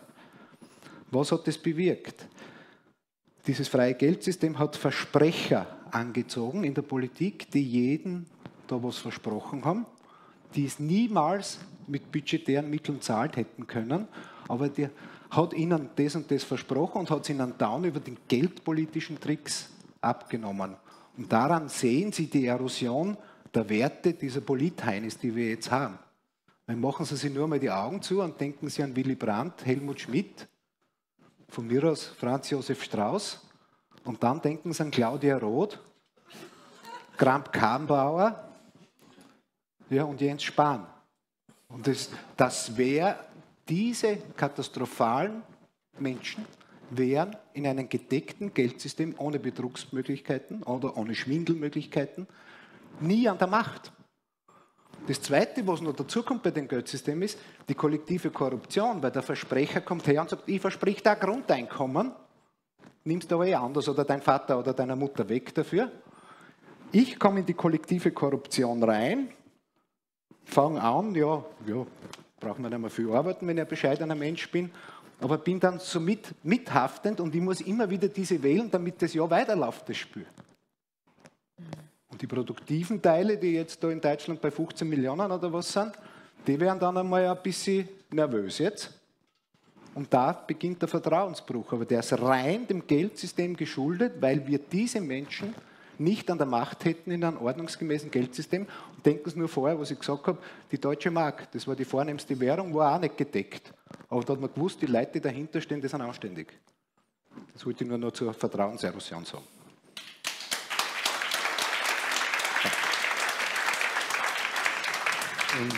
Bevor wir auch zu dir nochmal kommen, Thomas, ein Stichwort Basisdemokratie. Ja. Darf ich den Thomas Bachheimer noch darum bitten, die kleine Anekdote der Evolution im Bereich der politischen Führer ein bisschen zu beschreiben? Du hast ja eine nette Geschichte, Stichwort Wolf möchte ich dazu anmerken. Ja, also ich mache es ganz kurz. Noch bevor ich politisch gedacht habe, da war, damals war ich noch Staatsanleihenhändler, ich habe Staatsverschuldung gehandelt, das muss man sich vorstellen. Ja? Eigentlich fange ich ja so an, mein Name ist Thomas Bachem und ich habe Staatsverschuldung gehandelt. Das ist wie bei den anonymen Alkoholikern. und alle sagen dann, Servus Thomas. Ja. Nein, und damals habe ich das noch gemacht und Österreich ist zur EU gekommen. Und ich habe mit einem Freund, der war Autoverkäufer, also jetzt nicht nominell gebildet, aber er hat Hausverstand gehabt und da haben wir halt uns gewundert, warum wir Gurkenkrümmungen, Bananenfärbungen und das alles gekriegt haben, weil das ist ein Eingriff in die Natur haben uns dann aber mit Bier verlustiert und sind in der wunderschönen Renaissance-Stadt Graz in der Nacht gestanden bei einem Würstelstandl, haben ein letztes Bier getrunken und die Ruhe wurde nur gestört von einem Hund. Und dieser Hund war so klar und hat im Juni in Graz, was sehr südlich liegt, einen Mantel angehabt und hat so zittert und hat so schiere, dünne Haxen gehabt, der Chihuahua. und mein nominell nicht großartig gebildeter Freund hat mein Leben verändert mit einem Satz. Der hat hingeschaut zu dem Hund und hat gesagt, das hat der Mensch aus dem Wolf gemacht. ja?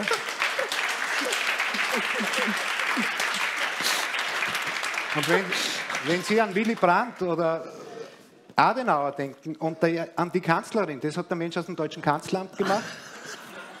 Helmut, ja? das ist eine Chihuahuarisierung. Aus uns allen hat man Chihuahua gemacht. Was ist denn da passiert? Aus, aus, äh, der Landesverteidigungsminister, wie heißt der bei Verteidigungsminister? War der Helmut Schmidt. Wer ist denn jetzt Verteidigungsminister in Deutschland? Stellt euch vor, ihr werdet wirklich einmal angegriffen. das ist ja Wahnsinn. 83 Millionen Ingenieure schauen da zu. Ja, das gibt es ja nicht. Und das Gleiche. Ich habe einen Onkel, der war LKW-Fahrer, Alleinverdiener, der hat ein Haus gebaut mit 25 Jahren Sparnis. Das, das nennt man heute Villa. Das hat bei uns jeder in der Vorgeneration gemacht. Heutzutage, mit 25 Jahren Sparnis, kriege ich irgendwo ganz draußen außerhalb der Stadt also eine Menschenaufbewahrungsschachtel schaut aus wie ein Chihuahua-Käfig. Ja? Das hat man aus den Ersparnissen gemacht. Chihuahuarisierung. Ja.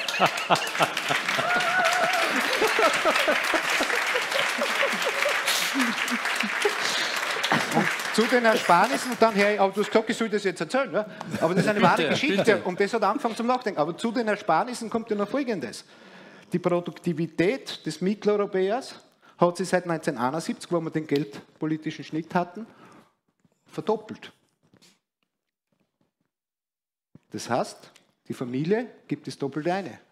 Aber was haben wir super Smarten noch gemacht? Wir schicken auch unsere Mütter in den Arbeitskampf. Das heißt, zwei Leute gehen hackeln. Das heißt, wir vervierfachen die Arbeitsleistung dafür, dass wir weniger rauskriegen. Und unter dem Mantel der Emanzipation haben wir auch die Steuerzahler verdoppelt. Und jetzt schaut euch einmal an, ihr haut es vierfache eine, was unsere Vorgeneration gemacht hat, und kriegt die Hälfte außer. Und wir glauben, wir sind jetzt gescheiter als die, Jahre, äh, als die Leute vor, vor sechs Jahrzehnten. Das, wir, sind die, wir sind nominell gebildet, aber wir sind Vollidioten.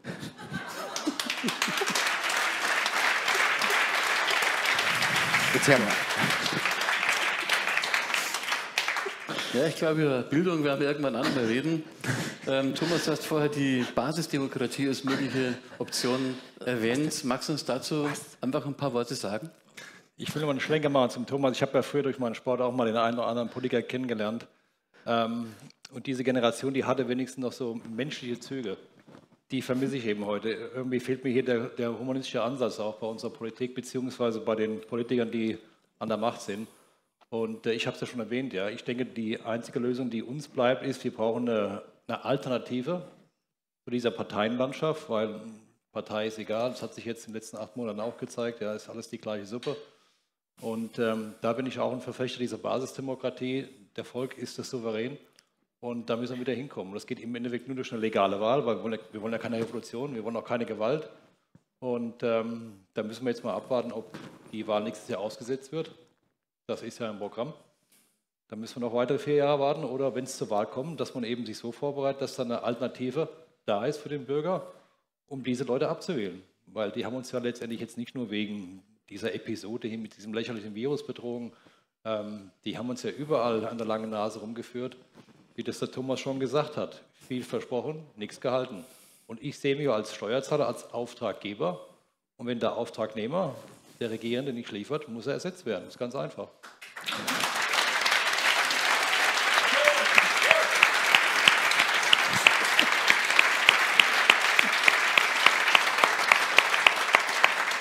Da ich ja mit der Bauindustrie zu tun habe, Erich, das ist ja auch eine, eine Industrie, die, die gerade Made in Germany, deutsche Baukunst, deutsche Ingenieurkunst ist ja international bekannt, das kann sich da keiner leisten.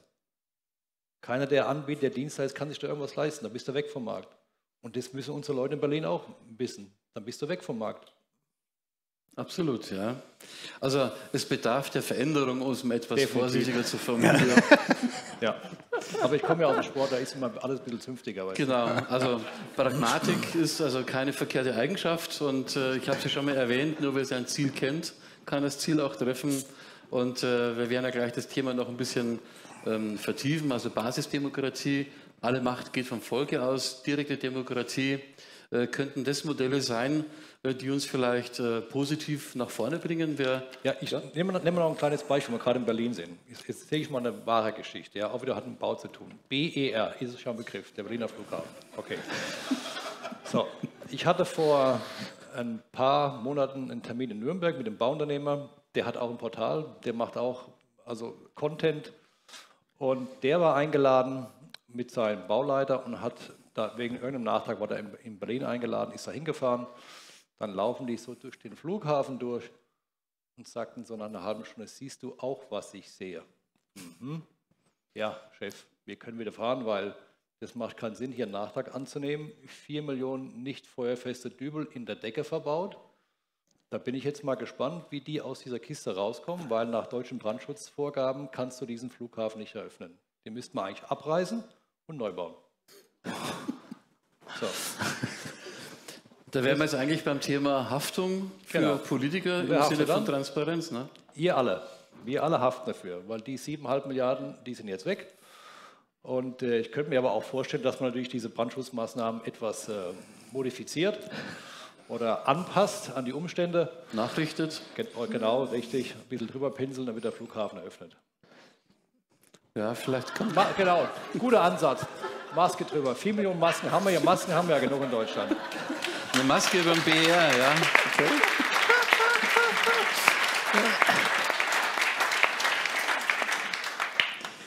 Ja, also die Realität, wenn wir draußen hinschauen, zeigt uns eigentlich immer wieder, wie, wie eigenartig, es ist fast wie so eine kognitive Dissonanz. Also wir haben eine klare Vorstellung, wo wir hinwollen, aber es passiert immer irgendwas anderes.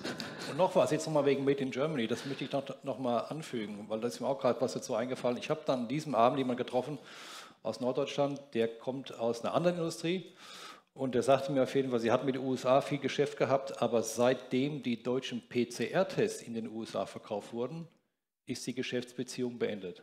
Weil Made in Germany wurde so äh, beeinträchtigt, dass die gesagt haben, mit euch wollen wir in Zukunft nichts mehr zu tun haben. Ja, das ist Realwirtschaft, Leute. Und da haftet auch keiner dafür. Ja, also man hat einfach eine Marke sehr mhm. stark beschädigt, auch dadurch. Also Definitiv. das Good Old Made in Germany hat doch etwas von seinem Glanz verloren, höre ich aus ja. deinen Worten raus. Genau. Ja, dann müssen wir jetzt vielleicht auch überlegen, wie wir da wieder ein bisschen Glanz zurückgewinnen oder wie das wieder eine Qualitätsmarke werden kann. Good Old Made in Germany. Und ähm, lass uns nochmal dieses Thema ähm, der Basisdemokratie oder direkten Demokratie ähm, aufgreifen, denn ich sagte ja vorher schon, ich habe den leisen Verdacht, die aktuelle Regierung hat sich irgendwie an die Macht geputscht, ohne dass groß einer gemerkt hat. Und ja, wie kommen wir denn aus der Nummer raus? Weil die aktuellen Parteien, ja, schaut euch die Opposition an, die nölen erstmal so lange rum, solange sie in der Opposition sind. Wenn sie dann selber in der Regierungsverantwortung stehen, machen die genauso weiter, mehr oder weniger. Also das aktuelle System wird es wohl nicht bringen. Also die Lösung kommt wohl nicht aus der Politik. Also was machen wir? Thema direkte Demokratie. Ja, wer möchte was dazu sagen? Ulrike? Also, äh, also vielleicht zu dieser Basisdemokratie nochmal. Ich glaube, damit Menschen überhaupt Prozesse entscheiden können, müssen sie die Prozesse verstehen. Und da sind wir ganz weit weg von. Also das, das ist völlig egal, ob es darum geht, wie der Leberkäse hergestellt wird, also oder was Nestlé uns als an Produkten verkauft oder welche pharmazeutischen Produkte wir uns in unseren Körper reinkippen. Wenn wir die Grundlagen der Produktion nicht verstehen, dann können wir auch gar nicht wählen. Also weder, ob wir das jetzt auf der Basisebene machen wollen oder politische Vertreter. Und mein Verständnis ist, dass das Einfallstor halt auch dahingehend genutzt wurde. Also wir sind über mehrere Dekaden mit Fehlinformationen angefüttert worden, also wie unsere Nahrung hergestellt wird, wie unsere, ich weiß nicht, Baumaterialien hergestellt werden und uns wurde immer irgendwas Minderwertiges untergedreht, ob das jetzt der Schaum in der Brandschutzverordnung ist oder nee, was auch immer. Das war nicht der Schaum, das war ein Dübel. Dübel. Ja.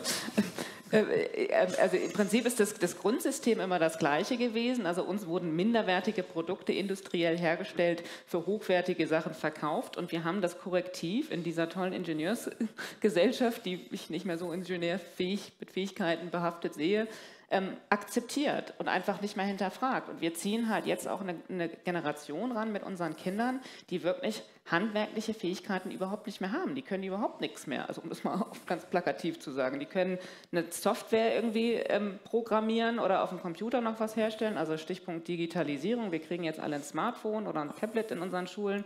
Aber sie können nicht mehr irgendwas mit Holz arbeiten. Sie können keinen keine Nahrung mehr herstellen, die haben keine Ahnung, was, äh, ich weiß nicht, nachhaltige Landwirtschaft ist, weil es einfach in unserem Bildungssystem überhaupt nicht mehr gelehrt wird.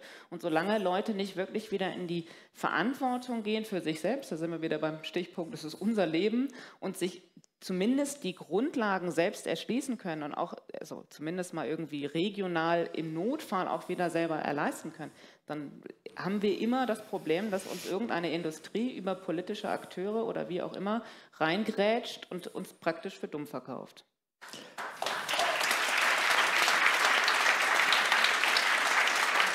Also, vielleicht wäre ein, ein erster Schritt, wäre für mich eine Bannmeile um einen Deutschen Bundestag für Lobbyisten. Auf 500 Meter Entfernung kein Wirtschaftslobbyist darf im Bundestag, wir haben mehr Lobbyisten im Deutschen Bundestag als Abgeordnete. Und die schreiben die ganzen Gesetzesvorlage. Also ein, ein zweiter Punkt, äh, anderes Thema, unsere Medienlandschaft. Wenn wir unsere privaten Medien anschauen, das sind fünf, sieben oder zehn Familien, fast alles Milliardärsfamilien, die fast unsere gesamte private Medien in der Hand haben. Also wir haben in Deutschland fast, äh, nicht nur in Deutschland, in den USA genauso, fast eine lupenreine Milliardärspresse. Also fünf oder sieben oder zehn Milliardärsfamilien dürfen täglich ihre Meinung sagen. Das hat früher schon der Gründungsjournalist von der FAZ, hat schon 1962 gesagt, naja, Pressefreiheit besteht bei uns darin, dass 200 reiche Familien ihre Meinung äußern dürfen. Heute sind es noch sieben oder zehn.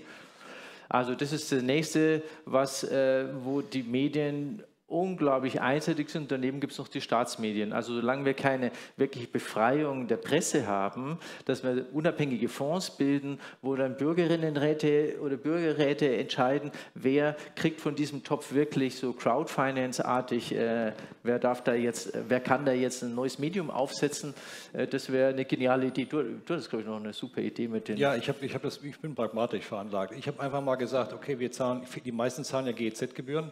Die soll jetzt selbst entscheiden, an wen sie GEZ-Gebühren bezahlen. So einfach. 8 Milliarden, 8 Milliarden pro Jahr. So, und der guten Content äh, produziert, der soll bezahlt werden. Gibt es ja mittlerweile auch Plattformen, die werden bezahlt dann mit einem Euro-Beitrag oder so ja, oder mit einer Spende. Und das sollte man bei den öffentlich-rechtlichen genauso machen. Und ohne es eine freie, freie demokratische Entscheidung. Drückst du aufs Knöpfchen, geht das Geld dahin oder dahin. Ganz einfach. Richtig, dann wird sich wohl die, sich die, Finanzkraft der TV-Stationen mhm. deutlich verändern in der Landschaft. Und äh, dann können wir als Verbraucher wieder bestimmen, wo es lang geht. Man, beim Deodorant hat es natürlich auch funktioniert. Kaum haben wir Deospray mit Aluminium nicht mehr gekauft, weil uns klar wurde, könnte vielleicht für das Krankheitsbild Krebs nicht so ganz äh, interessant sein, haben wir es einfach nie mehr gekauft, Deo mit Aluminiumspray, und schon wurde es nicht mehr angeboten. Und wenn wir über eine ja, Gebühren-App für Bildungsfernsehen frei wählen könnten, wer soll von unser Geld eben unterstützt werden. Also finde ich eine fantastische Idee. Also auch hier mal ein Ruf in die Crowd draußen. Wer Apps programmiert, äh, fangt doch einfach schon mal an mit einer Gebühren-App für Bildungsfernsehen.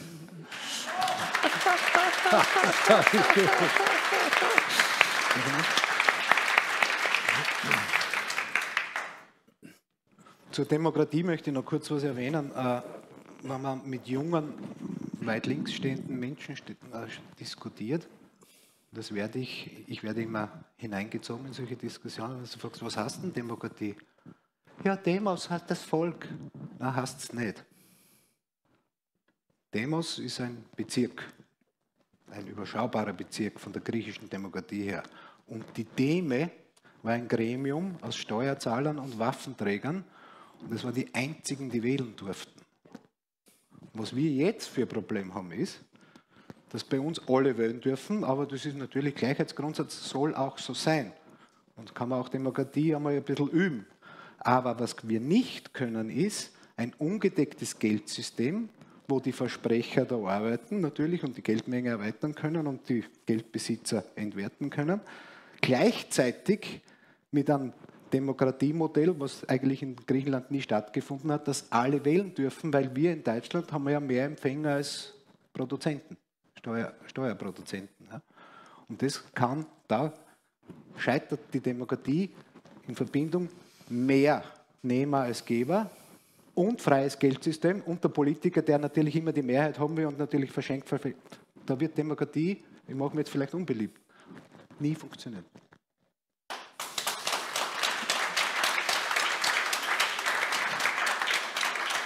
In der Schweiz funktioniert es. Weil in der Schweiz gibt es wesentlich weniger Nehmer als Zoller. Und das ist klein strukturiert, ja, mit den Kantonen und so. Und so kann das funktionieren. Nur wird nie ein Politiker und nie ein deutscher Bundestag die verfassungsmäßige Mehrheit dafür schaffen, dass wir das dann umbauen. Und deshalb ist dieser Optimismus in der Demokratie, und das heißt bei uns jetzt wirklich Herrschaft der Masse gegenüber der Republik, das ist Respublika, Herrschaft unter einem Ge Ge äh, Gesetzesbogen. Wie hat denn Deutschland Kassen? Bundesrepublik Deutschland. Und wie haben die im Osten Kassen? Deutsche Demokratische Republik. Bitte das bedenken. Das ist Demokratie und das ist Republik.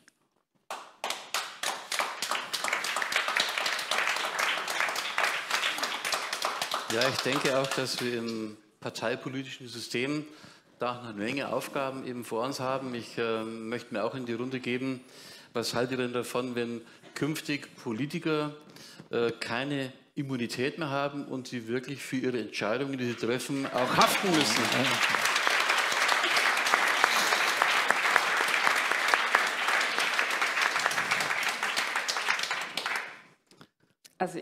bin ich dafür.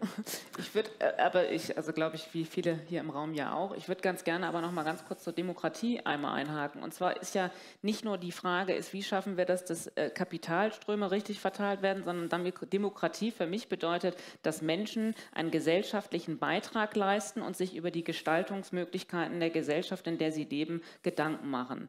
Und wir brauchen da gar nicht immer zu Geldflüsse. Das ist so ein, so ein entkoppeltes System, was wir jetzt haben. Und das ist auch so diese Konsumhaltung, in die wir jetzt ja ja im Prinzip gesellschaftlich gegangen sind, dass man immer bezahlt werden muss für eine Leistung, die man in der Gemeinschaft macht. Also wir sehen das mittlerweile selbst auf Schulebene, da macht überhaupt keiner mehr einen Handschlag, wenn er nicht irgendwie dafür finanziert wird. Das, das muss so nicht sein. Wir können auch die Gestaltungsprozesse unserer Gemeinschaft ja anders machen, ohne dass zumindest bei jedem Handschlag Geld fließt. Also das da nochmal kurz einhaken. Dann haben wir dieses Problem nämlich der Machtkonzentrierung auch gar nicht mehr, weil wir natürlich immer irgendwie ein kollektives Steuersystem brauchen und irgendwo das Geld gesammelt wird. Aber sobald die Leute nur bereit sind, einen Handschlag zu machen, wenn aus diesem Topf wieder was zurückfließt, haben wir ein Problem. Ich kann nicht mit kollektiv korrupten Volk kann ich keine Demokratie machen. Das ist das Problem meiner Meinung nach. Das hat jetzt gar nicht mit dem Geld, sondern mit der Form der Staatsfinanzierung zu tun. Mhm. Monetäre oder budgetäre. In einer 100% budgetären Staatsfinanzierung, was die Schweiz allerdings auch nicht hat, wird mir der Professor recht geben, aber die, die sind nahezu dort. In einer 100% budgetären Staatsfinanzierung kann ja Demokratie durchführen. Das geht jetzt am Schluss, äh, wie, was du auch vorhin gesagt hast, wir sind wir haben, wir haben unser Leben in der Hand, nicht irgendjemand anders. Nicht betreutes Denken, selber denken, von innen raus Kraft, selbstständig werden. Das, Und im Prinzip funktioniert auch Demokratie nur über selbstständige Menschen, die in sich stehen. Und deswegen, das ist alles, man kann über politische Systeme und alles natürlich verbessern, aber auch jeder Einzelne kann aus sich raus innere Kraft schöpfen. Für viele ist es, für manche gibt es Meditation oder Spiritualität, wie auch immer. Jedenfalls von innen raus Kraft schöpfen, das macht uns auf Dauer gesund, das macht uns auf Dauer stark. Und ohne so starke Individuen, Menschen, die, Menschen, die aus sich raus denken, die selber das, Hand, das Leben in die Hand nehmen, ohne die wird kein politisches System letztlich funktionieren. Es ist ja, es ist ja auch, ähm, ich komme nochmal auf das BER-Modell zurück. Ja. Mehr Haftung wird natürlich die Bereitschaft geringer sein, sich überhaupt als Politiker aufstellen zu lassen. Wir haben 300, ca. 300 Kommunen in Deutschland und wir haben einen Bundestag, der ist, glaube ich, so groß wie der von China, oder? Hast du gesagt, Thomas? Wenn man immer so die Verhältnismäßigkeiten äh, sieht.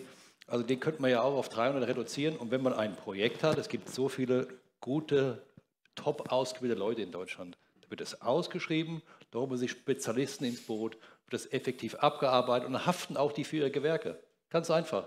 Dann hast du aber keinen mehr im Aufsichtsrat, der Ministerpräsident ist oder Oberbürgermeister, der dann im Worst Case sagt, viel Glück für meine Nachfolger, die gehen dann nach Hause, hoch zu, keine Haftung, der Schaden wird immer größer. So kann, man, so kann man so ein Modell aufführen und so kann man einen Staat effektiv führen und so kann man Steuergeld, Steuergelder sparen. Ganz einfach. Absolut, also mehr Experten in die. Verantwortung. Und ich wundere mich eh schon Und lange. Keine Politiker ehrlich in irgendein Gremium. In kein ja. Gremium ein Politiker.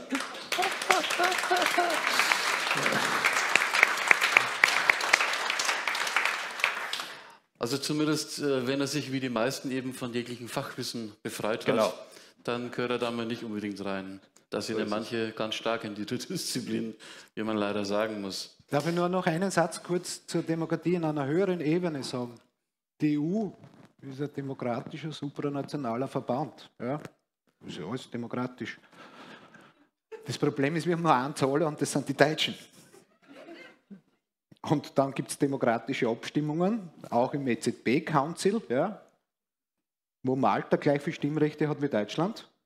Und demokratisch wird dann entschieden, ja, die Deutschen zahlen es. Die Idee von den Franzosen und Portugiesen ist gut, die Deutschen zahlen es. Das nennt sich dann Demokratie.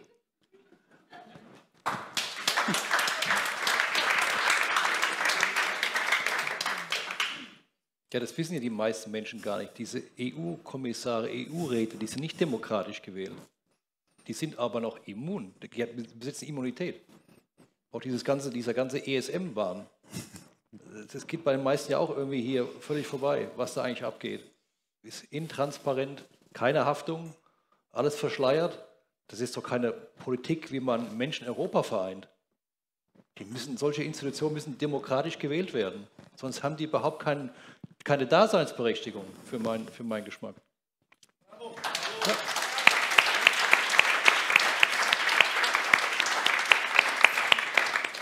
Ja, ich möchte an der Stelle sogar so weit gehen und vorzuschlagen, äh, überall dort, wo Menschen Macht über andere Menschen ausüben, darf das künftig nur noch bei absoluter Transparenz und nicht mehr in geheimen Hinterzimmern passieren. Mhm.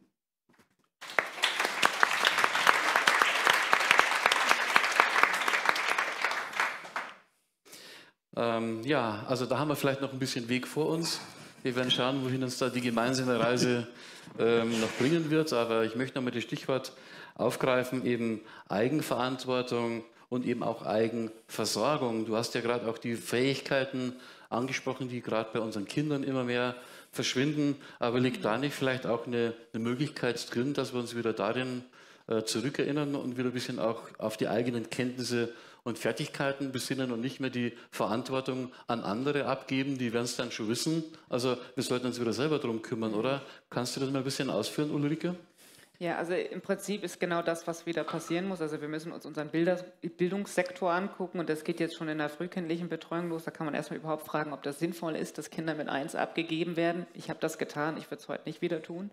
Aber ähm, und auch natürlich dann einfach im weiteren Bildungswerdegang, was lernen die Kinder eigentlich? Also was lernen sie, damit sie sich selbst im ersten Schritt überhaupt erst versorgen können? Und das geht los mit, wie schaffe ich, dass ich einen gesunden Körper habe? Wie schaffe ich, dass ich eine gesunde Umgebung habe? Also im häuslichen Bereich wie im Garten oder was auch immer. Und das ist das ist ein Themenbereich, der in der Schule grundsätzlich nicht mehr angefasst wird. Und zwar, wenn man sich wieder anguckt, wer grätscht denn eigentlich von hinten rein und sieht zu, dass die Kinder das gar nicht wissen, weil nämlich sie dann die Produkte nicht kaufen würden, ist natürlich die gesamte Industrie wieder am Gange. Und zwar nicht nur wieder die Nahrungsmittelindustrie oder die, die Industrie, die im Prinzip in der Agrikultur, also im landwirtschaftlichen Bereich die Grundnahrungsmittel herstellt, sondern natürlich auch die Pharmaindustrie oder Farben und Lacke, also die gesamte Chemieindustrie oder die Abgasindustrie, der Automobilsektor. Also im Prinzip haben die gesamten Industriezweige, die uns als Absatzmarkt benutzen, kein Interesse, dass wir das wissen und sehen natürlich über die Bildungsbehörden zu, dass dieses Wissen gar nicht überhaupt in den Bildungssektor reingetragen wird. Das heißt, auch da muss man sagen, wir brauchen nicht nur Experten, weil die sind auch weitflächig gekauft, sondern wir brauchen wieder logisch denkende Bevölkerung, Mütter, Väter, Großväter oder wen auch immer, der einfach sagt, das macht gar keinen Sinn, das Kind sieht nicht gut aus, der Erwachsene sieht nicht gut aus, da muss doch irgendwas nicht stimmen, lass uns mal die Grundlagen richten. Und das ist ein mühsamer Prozess und im Prinzip ist, glaube ich, für viele auch im ersten Schritt die Frage, ähm, was kann ich selber wieder lernen und inwiefern vertraue ich auch weiter Experten, ob das jetzt über Regierungskörperschaften sind oder auch irgendwelche oftmals gekauften Akademiker, ich persönlich glaube nicht mehr vielen Leuten, wenn ich das nicht selber logisch nachvollziehen kann. Das ist mühsam, aber machbar. Vielleicht.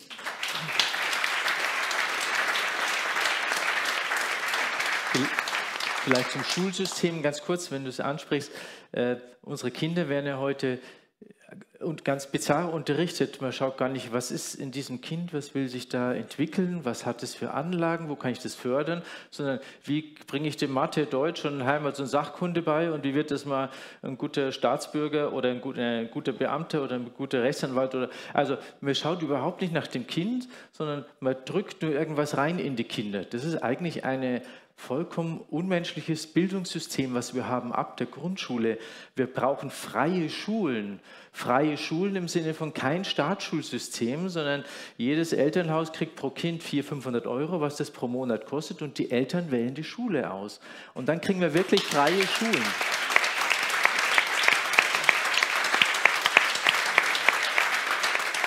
Und dann dann kriegen wir zum Beispiel Montessori-Schulen, Waldorf-Schulen, kirchliche Schulen. Es darf nicht gewinnorientiert sein, das müssen G-GmbHs sein oder in der Richtung sein, gemeinnützige GmbHs, dass man nicht jetzt Geld draus macht. Und ein wirklich freies Schulsystem. Und dann wird dieses Staatsschulsystem, was eigentlich nur dressierte Äffchen herstellt, ja, was kann ich rein, reindrücken und dann ausspucken und an der Hochschule, wo ich das erlebe, geht das weiter. Wir machen eigentlich äh, keine Bildung mehr, sondern nur noch Ausbildung und drücken das rein, dass es dann hinterher beim Siemens und Bosch gut unterkommt kommen. Da geht es nie um die Studenten, um deren Entwicklung oder, und, und bei den Kindern genauso wenig. Was ist das für ein Wesen? Was hat das für Anlagen und die wirklichen wichtigen Anlagen fürs Leben? Also Kunst, Musik, Religion miteinander, das wird zumindest im bayerischen Schulsystem, wo ich sozialisiert worden bin, das zählt alles nichts. Das ist alles unsinnig. Und Sport und Kameradschaft, das zählt alles nichts. Zählt nur Mathe, Deutsch und HSU und die guten Noten. Also dieses Schulsystem, was wir haben, ist wirklich total unmenschlich und egoistisch. Deswegen Gutscheine für alle und freies Schulsystem.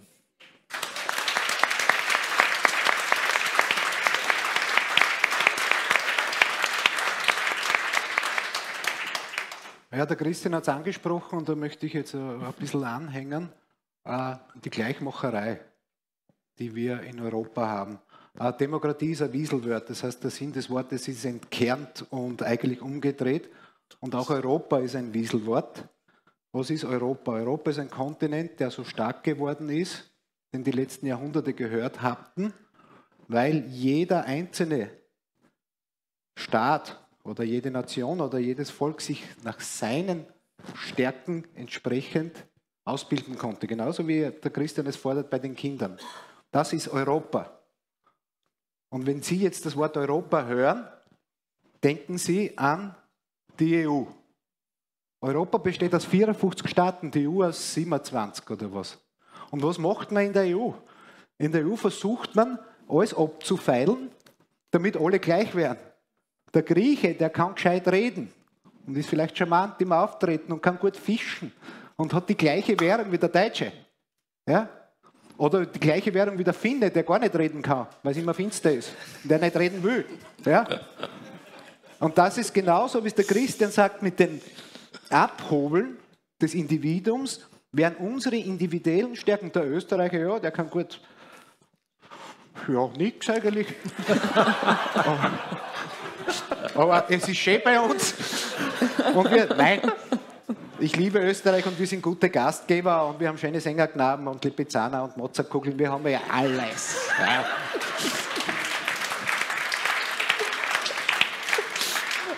Aber jetzt frage ich Sie, was soll ein Grieche in der Hitze mit einer Mozartkugel machen?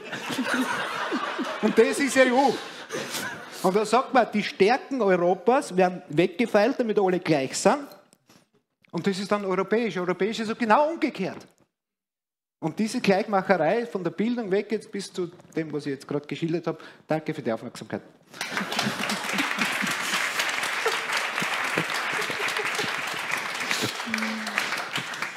Ja, fantastisch. Also ich sehe, es macht auch Spaß, an einer Versammlung teilzunehmen und äh, tolle Gäste, die es wirklich ähm, beleben. Bevor wir jetzt in der ähm, ersten Teil abschließende Schlussrunde gehen, lass uns bitte noch weiter ein bisschen über Lösungen sprechen. Noch ein Stichwort äh, Gemeinwohlökonomie oder auch Kooperationswirtschaft.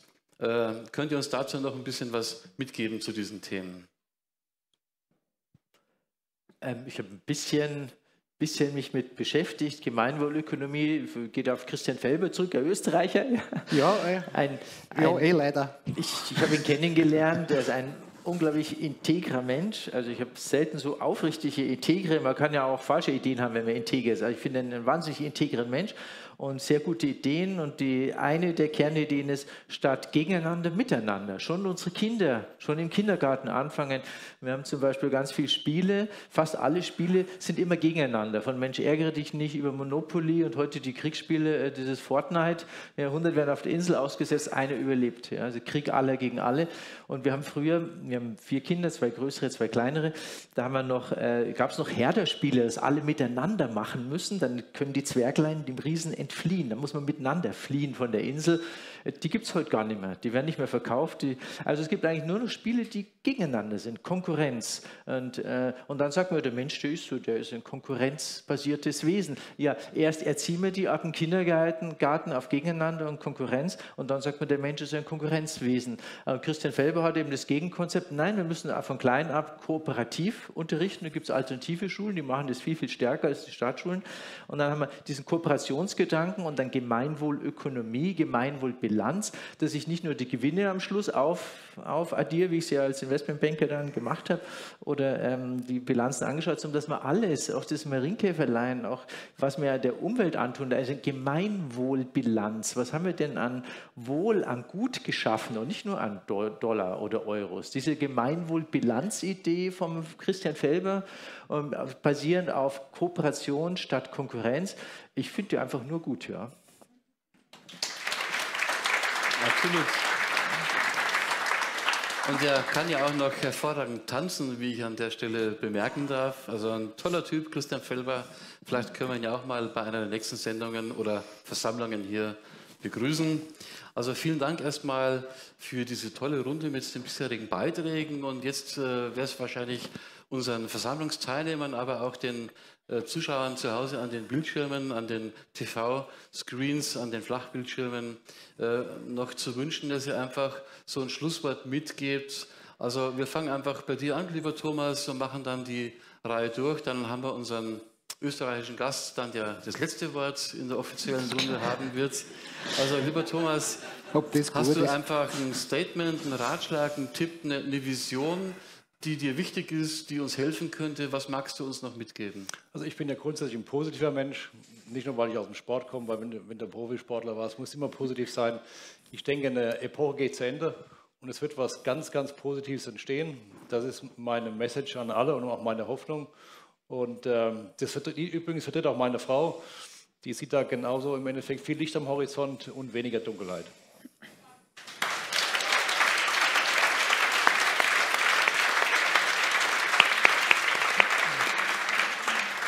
Ja, danke dir, danke. Also ich würde da anknüpfen und ich glaube, ein, ähm, ein, guter Weg ist, wenn jeder wieder da anfängt, wo wir gerade eben waren, nämlich bei der Frage gemein und wohl. Also wenn es ein, in dem Körper selber sich wieder gut anfühlt, dann ist man schon auf der Hälfte der Strecke und das kann man rauskriegen, wie man das schafft. Und wenn man das auch noch gemeinsam mit Menschen drumherum macht, dann sind wir wieder bei Basisdemokratie, bei funktionierenden Wirtschaftsschöpfungskreisen und dann haben wir es eigentlich geknackt. Also gemein und wohl wieder erleben für sich selbst.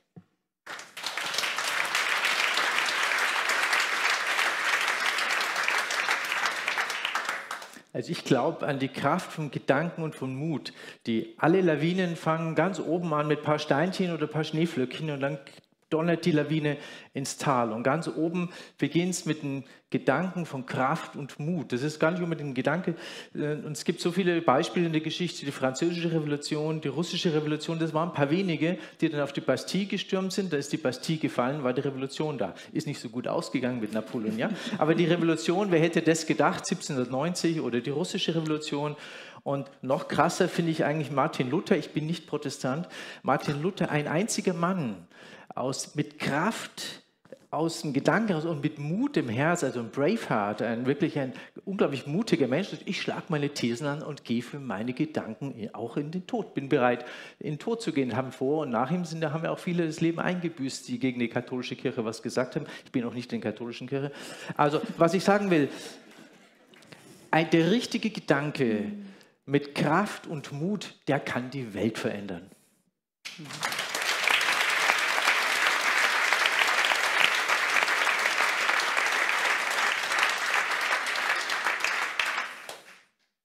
Ja. ich finde das eh klasse, dass alles so positiv ist, aber äh, ich habe heuer zu Silvester eine Minute nach Mitternacht an meine Leser wie jedes Jahr eine Neujahrsbotschaft geschrieben und ich war wie jedes Jahr ein bisschen betrunken. das schreibe ich dann so zehn Minuten vor Mitternacht und um 01 zählt es ab und ich habe dann geschrieben, äh, liebe Leser, ich wünsche euch ein gutes neues Jahr, aber das wird ein Jahr der Auflösung und eines der härtesten für uns alle. Ich wusste aber von Corona nichts. Positivistisch sein ist super, ob mit oder ohne Corona. Wir werden die nächsten paar Jahre einen härteren Weg beschreiten müssen.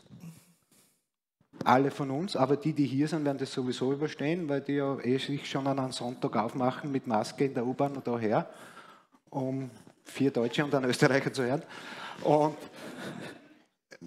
ich bin auch positiv gestimmt, aber es wird nicht rupfert, wie wir in Wien sagen. Also es wird ein bisschen holprig. Danach breitet sich natürlich was Schönes aus. Wir müssen das Alte abschütteln. Das ist in der Evolutionsbiologie immer so.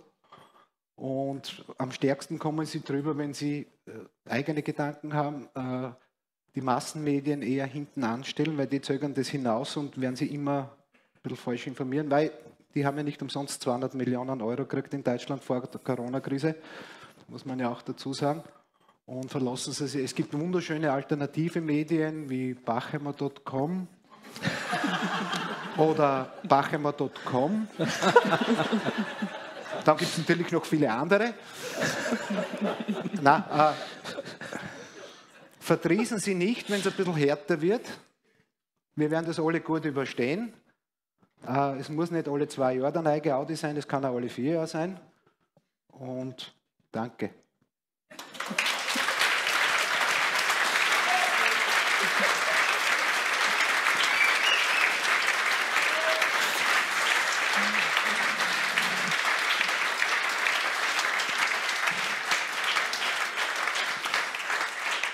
Ja, vielen Dank ähm, an die Runde für eure Botschaften zum Ende der ersten Runde.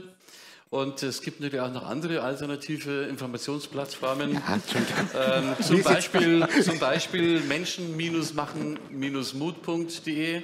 Und es würde mich sehr freuen, wenn die Sendung, die Versammlung ähm, allen gefallen hat, wenn ihr was mitnehmt. Und äh, vielleicht möchte ich diesen ersten Teil, bis wir dann weitermachen, äh, mit dem beenden. Es kam irgendwann einer, weil alle gesagt haben, es ist unmöglich, der wusste das nicht und hat es einfach gemacht. In dem Sinn, macht's einfach, dann haben wir eine gute Chance. Vielen Dank.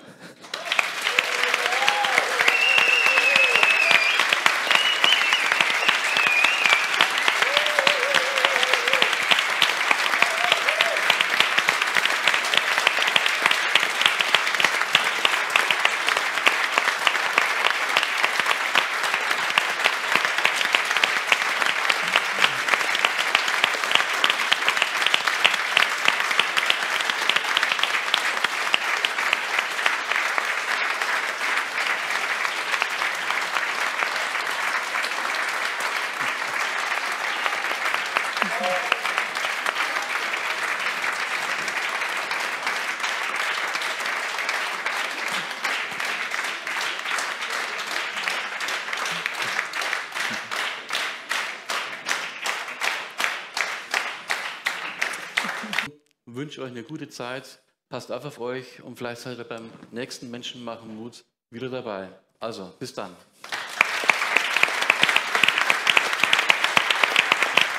Dankeschön.